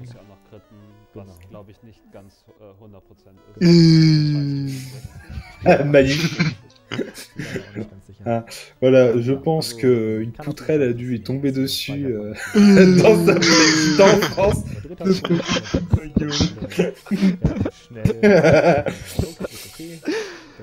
enfance. Voilà, ça va, balayage n'a pas- pas crit.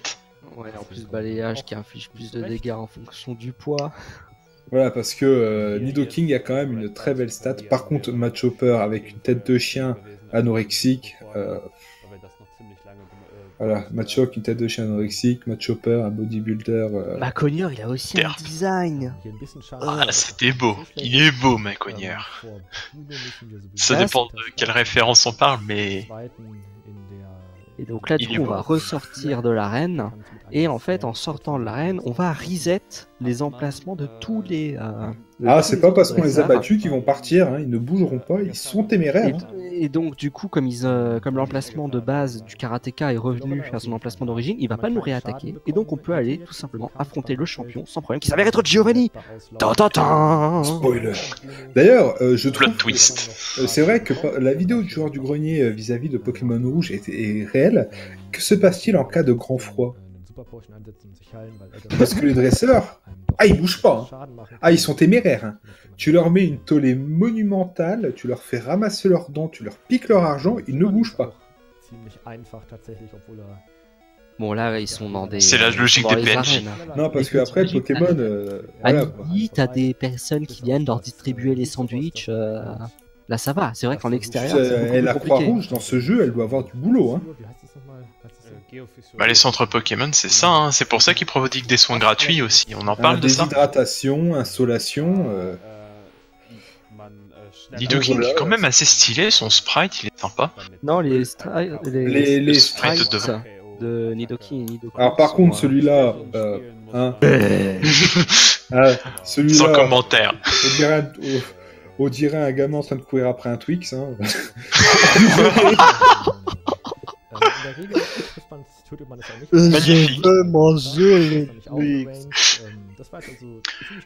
Ou alors, euh, c'est à mon tour de, c'est à mon tour de jouer à la X-Boîte.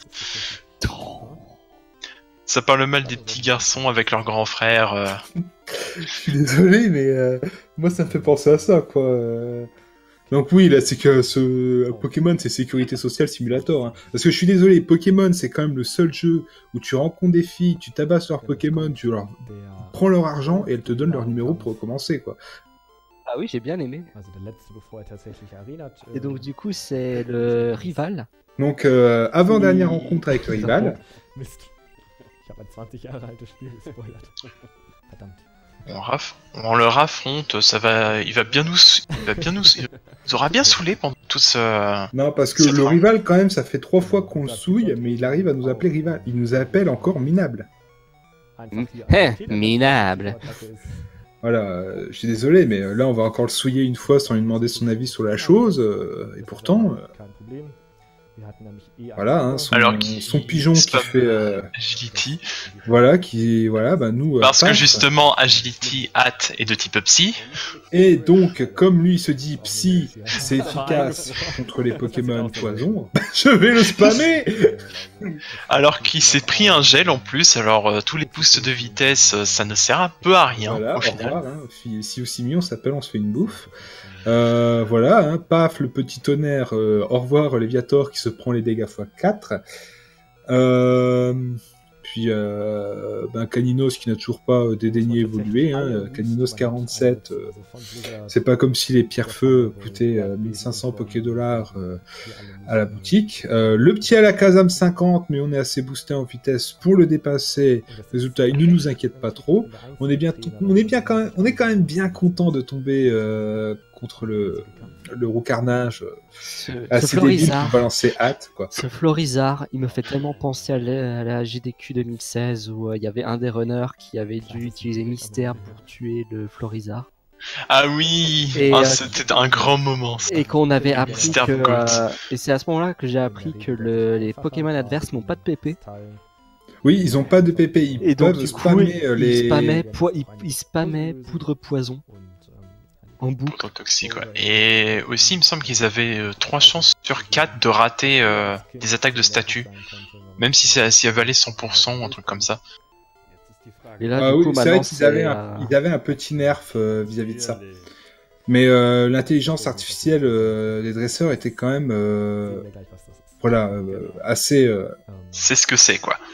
Bah, je trouve que pour l'époque, elle était vraiment pas mal. Hein. C'est vrai. Pour l'époque, euh, il y avait quand même euh, des idées, ne serait-ce que euh, Peter, bon, par contre, le pauvre gars là qui doit se choper une, hypothermie tous les jours. Techniquement, s'il chope une hypothermie, à mon avis, c'est quelqu'un qu'on remplace très souvent. Mm. Mais ça, c'est les trucs qui m'ont bien fait rire dans Pokémon, même quand j'étais enfant, où je voyais les dresseurs qui ne bougeaient pas dans l'eau. Je me dis, oh, les pauvres. on se rappelle toujours du mythe du clonage. Je pense que ça résout bien des problèmes. Alors là, euh, l'utilisation, donc il euh, faut savoir que contrairement à la version française, le rappel euh, dans la version anglaise, ce n'est pas le rappel comme nous le connaissons en français, mais le repousse. Donc là, utilisation du menu, hein, comme je dis, optimisation du menu, on y est, on utilise le repousse, on est tranquille. Bon, le moment que tout le monde attendait. C'est parti, les meilleurs moments de d'un certain jeu amusez-vous bien, nous avons un peu de temps pour meubler la chose. Bah tiens, en parlant de meublage, je viens de regarder mes mails et j'ai vu un truc bizarre. Vous allez rire. J'ai reçu un mail de Twitch qui me dit que c'est un, truc Pokémon. Join us and don't forget to bring a Pokéball. Uh, trainers told us they saw a wild Torkoal up ahead. Euh, un Chartor Il y aurait un truc, un Chartor qui traînerait euh, sur Twitch. En passant, à moins que ce soit un partenariat. Donc euh, les gens, checkez vos mails, il peut y avoir des choses intéressantes. En passant euh, à cet accent magnifique. C'était totalement qualité. Donc, et là, je viens de cliquer et en fait, c'est une référence à Twitch avec les... il y a en ce moment un marathon des saisons de Pokémon de dessins animés sur Twitch. Et euh, là, ils en sont a priori à la saison 7. D'après ce que je vois sur l'écran. Et euh, tout le monde spam euh, point d'exclamation Pokéball. Donc ils essayent peut-être tous de choper un Chartor. Donc voilà, un petit meublage là que j'ai pu voir par mail. Donc n'hésitez pas à regarder si vous avez vous-même obtenu ce mail pour. Donc là, vous avez remarqué aussi qu'il y avait un Pokémon oiseau dans la roue de victoire. Euh, moi, étant gosse, j'étais persuadé que c'était euh, OO, euh, vu qu'on le voyait apparaître dans le dessin animé, mais qu'on n'en faisait aucune mention dans le jeu. Donc je me suis dit, ah, c'est lui, puis quelle fut ma déception quand je suis tombé sur ce Fura. Parce que les oiseaux légendaires, faut avouer qu'il fallait se lever tôt pour les chercher. Autant Articodin était assez euh, téléphoné via les, les, îles qu'on était, était obligé de traverser, autant Elector. Euh, fallait trouver, fallait trouver l'endroit quoi. Ouais, c'était pas la même mayonnaise. C'était bien planqué en plus avec cette blague des Voltorbes et des électrodes qui sont euh, planqués parmi les Pokéballs. oui, à la place des ah, ça c'était violent. Hein. C'est terrible.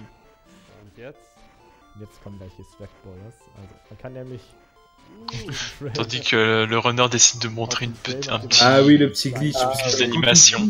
Euh, quand on pousse euh, le rocher, on a une certaine frame pour changer la direction du voilà du, du joueur. Et euh, quand on le fait, ça fait juste modifier le mouvement des, du, de la poussière remuée par Par le mouvement Oui, du euh, rocher. Par le mouvement du rocher. Voilà. Donc là, ben, on a, on a bien géré euh, la route victoire qui n'était pas excessivement longue pour- comme une première, trou- comme une première route victoire, mais on sent que c'était la fin du jeu, donc ils ont essayé de faire économie de place. Donc, Oh, il, on- a, il a failli euh, relâcher euh, notre euh, son starter. ça aurait été euh, catastrophique aux yeux de la communauté. Il se serait fait euh, juger.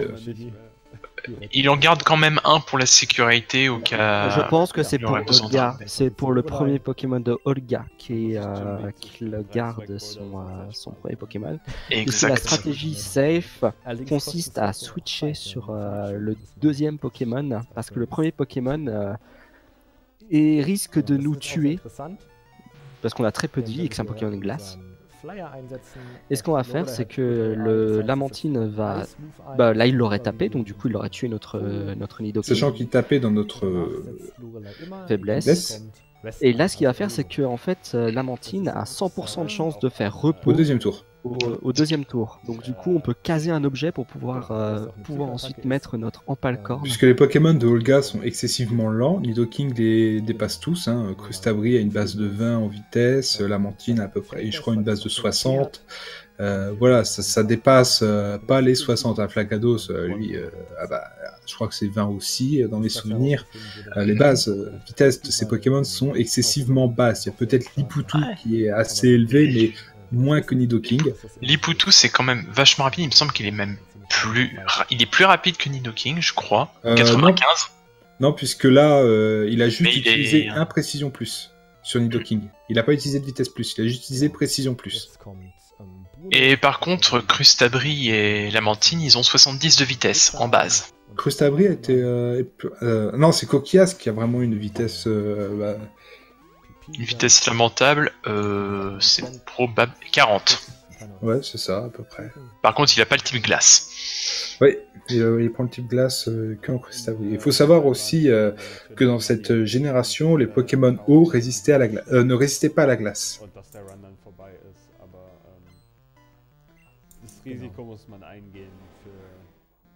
Donc, euh, bon, bah, on affronte le dresseur euh, de type combat, mais euh, comme il n'y avait pas beaucoup euh, De type combat. de type combat, euh, euh, on a Onyx. Il lui manque que Colossinge. Il, a, il lui manque que Colossinge de tous les Pokémon de type combat. Bon, euh, Taignon, petit hommage à Senseiya. hein. Man qui est Hitmon, Hitmonchan et Hitmonlee. Pour euh, de ces très célèbres euh, artistes martiaux. Exactement. Et, Et Bruce Lee. et Bruce Lee. Donc, euh, bon, ben, de Onyx. euh, puis, euh, Évidemment. il a une tête de tortue. On dirait Un peu, ouais. La bouche a beaucoup changé. euh, On dirait un petit Koopa quand même. Enfin, un Koopa à quatre bras. C'est Bowsette avant l'heure. Oui. Opposette. hein. Oh non. Oh non, s'il vous plaît, parlons, ne parlons Non. pas de. Non. Ah bah, je suis désolé, mais euh, Aldo, il a quand même les bracelets de Bowser. Donc là, euh, par sécurité, on utilise une potion parce que euh, on va forcément se prendre un coup le temps de se booster et il va y avoir besoin de se booster contre elle parce que ces Pokémon sont rapides et résistent à Empalcorn. Ou sont immunisés surtout, parce que type spectre. C'est ce que je dis, ouais, ils résistent quoi, parce qu'Empalcorn, soit tu le prends, soit tu le prends pas. Donc euh, C'est vrai. Prouve que tu existes. voilà, un euh, Ectoplasma qui a pas qui a pas les yeux au même niveau. Par contre, au moins, au moins, ce qui est fort agréable, c'est qu'on peut toujours lui mettre, euh, lui caser un séisme, Oui. parce qu'il n'en est pas immunisé, et ça, c'est le plus grand bonheur euh, Donc, de jouer à il la a- 1G ou à la 2G. Il y a juste À eu besoin de lui mettre. euh, il y a juste eu besoin de lui mettre. Ah Et le fameux Miss. Oh, il est mort. Le Oh, le non. peu de chance d'échouer à cette attaque, elle échoue. Germensch. Germensch, le chat, là. On est bientôt, c'est bientôt fini, on est bientôt à Ah, la fin. c'est- c'est vrai que Macognieur a des airs de roi d'Adidou. Un roi d'Adidou bien vénère. Le roi. Dadidou de Kirby Star Allies, Par contre, c'est vrai que avec quatre bras. Euh, Nosferalto, son sprite, Il est immonde. De toute façon, le design même de Nosferalto. euh, Ah, Nostanfer, par contre, il pète la classe. Ah, Nostan, Ouais, j'ai dit Nostanfer. Non, mais Nosferatu, Nostanfer. Nosferatu, il est moyen. Par contre, Nostanfer, ils ont envoyé du lourd. hein. Lui, il envoie. Et là, par contre, c'est, ça montre bien le bonheur que tu as de, d'un- à- d'investir, euh, d'investir ton temps sur un Pokémon aussi hideux que Nosferalto pour avoir un, Pokémon aussi badass à la fin. Oui, et puis euh, Nostanfer, en termes de stats, il est loin d'être dégueu. hein. Très bonne, une très bonne vitesse, des stats défensifs plus que corrects. Alors, on Euh, voit que c'est stats une- on d'attaque. voit que c'est un, on voit que c'est un stade 3. En fait. Donc, euh, ah bah tiens, petit coup critique, au revoir. On s'est vengé. Retour du karma, allez. C'est le moins qu'on puisse dire. Et ce Ah, petit et moment là, de euh, satisfaction quand on clique séisme sur un spectrum et qui se le prend en pleine poire. Pas Ah besoin bah d'utiliser gravité. Nido King était je pense qu'il avait un, il était peut-être un petit peu dégoûté de cette fait humilier. Par contre, euh, Arbok qui ressemble à, à un ver, euh, Un ver mutant, ouais. ouais, je sais pas, un ver. euh. Pourtant, j'adorais Arbok quand j'étais gosse, c'est un de mes Pokémon préférés parce que j'adorais les serpents.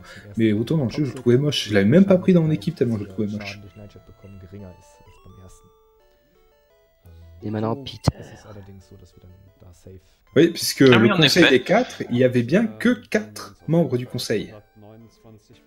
Avec Et le- cette petite avancée complètement stylée qui t'indique. Ah oui, euh, alors là, là tu sens là que tu vas vers la fin là. Là tu sens que t'es parti pour euh, le, le bastion final. euh, c'est, la fin là. J'ai trouvé d'ailleurs que les mises en scène des Pokémon, euh, je te- les, les- les mises en scène des ligues de Pokémon ont toujours rendu ça complètement épique. clair. l'arrivée, euh, le, le dernier, euh, voilà, tu, tu sens que tu, tu pars pour le dernier combat. C'est, un petit peu euh, la, la grande avancée euh, vers ton destin. Puis euh, en général, les musiques qui accompagnaient ces combats euh, aidaient bien. Hein. Je parle surtout pour la deuxième génération. Quand t'arrives. Euh, et, surtout, et surtout que le dialogue, ça coupe toute la musique au départ. Ça te montre bien toute la tension qui est à son ah paroxysme et que c'est bien la fin du voyage. Voilà, le côté badass. voilà, puis mon titre est en jeu tu sens Ah, voilà, il y a- il y, a des enjeux assez lourds. là.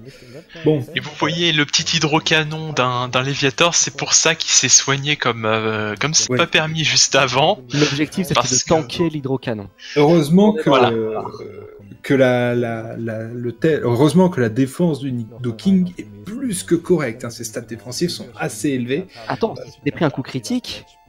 C'était il mort. mort. Oui, ça c'est sûr. Euh, après, ça reste un Léviator. Un Léviator était un des Pokémon les plus puissants de cette génération. Et c'est aussi un Pokémon extrêmement puissant à avoir en début de jeu quand vous êtes en casual.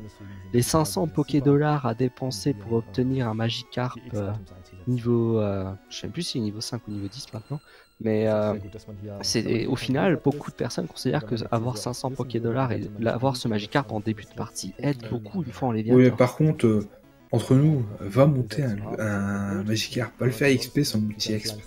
Euh, je suis d'accord que c'est chiant, mais une fois que tu l'as, t'es content. Ah oui, ah, c'est sûr que. par- C'est le meilleur gars de ton équipe juste pendant très longtemps. hein. Moi, je préfère Nidoking, plus simple à avoir, euh, meilleur panel, je préfère. Oui, mais au début du jeu, euh, t'es pas sûr de savoir comment avoir, euh, comment utiliser la pierre lune sur, Ah ouais. sur Lidorino. Je- Mais il est meilleur. Il est meilleur, ça c'est clair. Donc voilà, euh, là on rentre sur le combat final. hein. Comme vous voyez, euh, il n'y a eu aucun problème euh, sur Peter. Peter, c'est qu'un combat plutôt safe. Et là, ben, euh, on est parti sur le rival. Donc, euh, ben, ça va encore être un petit peu de la, mini- ma- de la manipulation de Rukul. Et euh, le dernier combat, il a une. Déjà, ce sont lui la seule fois que vous aurez ce sprite là. Ah oui, c'est vrai qu'on peut laisser. euh, Il y avait la pension, mais la pension, moi d'ailleurs, je pensais qu'il m'avait volé mon Pokémon quand j'étais petit, qu'il me le rendait que contre de l'argent. Ah, là, euh, il vient de se prendre. euh, Est-ce qu'il va réussir à suivre Ah oui, alors d'ailleurs, une petite anecdote. euh, ce combat, c'est le seul où les animations se réactivent automatiquement même si on les a retirées. Oui, ça, on Ça, peut. C'est le dernier fight. Donc là, on peut vraiment observer les, toutes les animations et donc on constate que en c'est juste plein de petits pocs sur, euh, sur l'adversaire. Voilà. Bah, Après, euh, quand tu lis euh, le nom de l'attaque, Empal Corne, ça laisse Oui. penser que c'est pas très agréable. Oh, tu m'as piqué. Euh. Mais Le truc oui, qui en de plus, traverser. t'imagines en, t'imagines en anglais, c'est euh, Horn Drill. Ah bah là, toutes les références à Gurren Lagann, quoi. C'est une putain de perceuse. Mais euh, par contre, euh, oui, euh, on, on parlait là de. Je vois que dans le chat, ça parle du Leviator Shiny, la deuxième génération. Euh, le Leviator Shiny a des stats horribles. Euh, vu que justement, ils nous filent un Shiny, ils vont pas non plus nous filer avec de bonnes stats. Et Il y a en des plus, stats les shiny, les shiny, ils sont, ils sont shiny en fonction des stats. Euh, et aussi, le sexe Aussi, dans la ouais. deuxième génération dépend des stats. Faut savoir que justement, quand ça a été découvert, c'est un petit peu fait polémique, puisque euh, la, le sexe du Pokémon va dépendre de son niveau d'attaque. Parce que euh, les, donc l'initial value, c'est une stat cachée qu'un Pokémon obtient quand il est généré, qui varie entre 1 et 31. Dans les premières Si- générations, c'est 1 et 15. Ouais. Oui, mais dans- je parle dans la deuxième. Oui, dans les Bah, c'est la même chose. C'est les DV, c'est de, c'est de 0 à 15, je crois. Ou 1 à 15. Ah, peut-être. Bah, bref, s'il avait au-dessus de la moyenne, c'était un mâle. S'il avait en dessous de la moyenne, c'est une femelle. C'est comme ça que le sexe était généré dans le jeu. Et donc, euh, mine de rien, là, on vient d'arriver au Hall of Fame. On a battu Et, notre euh, rival avec un piaf avec.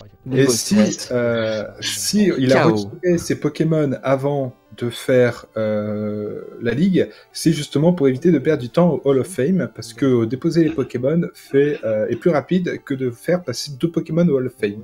Voilà. GG c'est le Voilà, time. c'est le time. GG. 1h54 et 56 secondes, une run euh, très très propre. hein. Il y a eu quelques euh, couacs, mais euh, en dehors de ça, euh, il y aurait pu avoir pire. hein. Il y aurait pu avoir vraiment pire. Et donc, du coup, avec ce temps, cette performance, il se retrouve 54ème dans le, dans le leaderboard, pardon, de speedrun.com. Le 14 glitch du Pokérus. Alors, faut savoir que dans le jeu, le Pokérus, ce n'est pas un glitch. C'est euh, c'est une donnée existante qui est trois fois plus rare qu'un shiny euh, dans la première génération euh, et qui permet juste d'augmenter de 50% l'XP que tu reçois.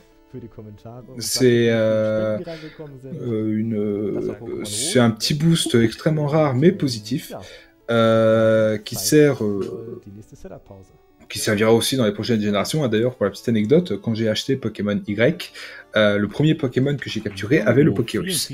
Euh, donc, euh,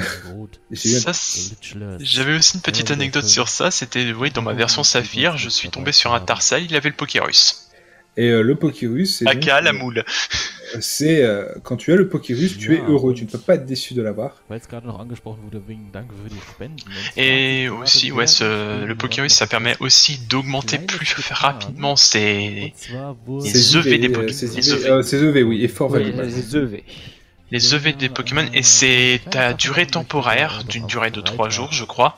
Et après, Et euh, quand tu ça es se guéri, maintient dans le PC. Et quand tu es guéri de cette maladie, tu gardes toujours les bonus du Pokérus. Par contre, euh, faut savoir aussi que dans la version or et argent, il y avait un bug sur les EV. On pouvait avoir des EV littéralement infinis. Pour les avoir infinis, il suffisait de monter un Pokémon au niveau max, euh, de le mettre, enfin d'avoir euh, des EV au niveau max, de mettre le Pokémon dans le PC, de le faire changer de boîte par le déplacement de Pokémon sans lettres. Et une fois que le Pokémon était déplacé, il avait de nouveau, euh, ses- il avait toujours ses 250 d'EV euh, dans sa stat, mais euh, l'augmentation des EV était repartie à zéro. Donc on pouvait monter jusqu'à 500, 750, 1000. Il n'y avait pas de limite. Ah bon, il n'y avait pas de limite? Il n'y avait pas de limite, c'était un bug. Ah, d'accord. Moi, je croyais qu'il y avait un nombre maximal à durchaus atteindre et que tu pouvais en fait dépasser le niveau 100, continuer à accumuler des EV, et que en fait le fait de le mettre dans le PC, ça recalculait euh, les points que Zeit vraiment à mettre euh, sur ta stat. Après, le PC dans la Ça, deuxième génération, c'était une source de glitch assez Après, ah oui, c'est dans la deuxième génération. Moi, je parlais de la première génération. Ah, première génération, ça. C'était une, énorme source de glitch, à part ça, Also le jeu était carrément extrêmement solide. Ah oui, non, non. Ah, le jeu, il, il encaissait, hein, parce que quand on voit ne serait-ce que le glitch pour avoir Celebi dans Pokémon Argent, faut l'encaisser pour un jeu comme ça. hein. Ou ne serait-ce que faire du du code, euh, enfin de l'injection de code. Quand on voit ce qu'il faut faire euh, à partir du TAS de Pokémon, euh, je ne sais plus lequel, entre or et argent, c'est monstrueux. Et C'est vrai que euh, il est testable. hein. Eh ben, ce fut une, une très belle run. Une run très instructive avec beaucoup d'anecdotes que je ne connaissais pas. Franchement, merci pour ce, ces éléments de culture. Bah, de Bah rien. oui, écoute, ça, ça a été extrêmement intéressant. J'a- J'aime tellement. Pokémon fait, est littéralement ma licence préférée, donc euh, étant passionné par les trivia nuls sur beaucoup, sur beaucoup de domaines, d'autant plus sur un univers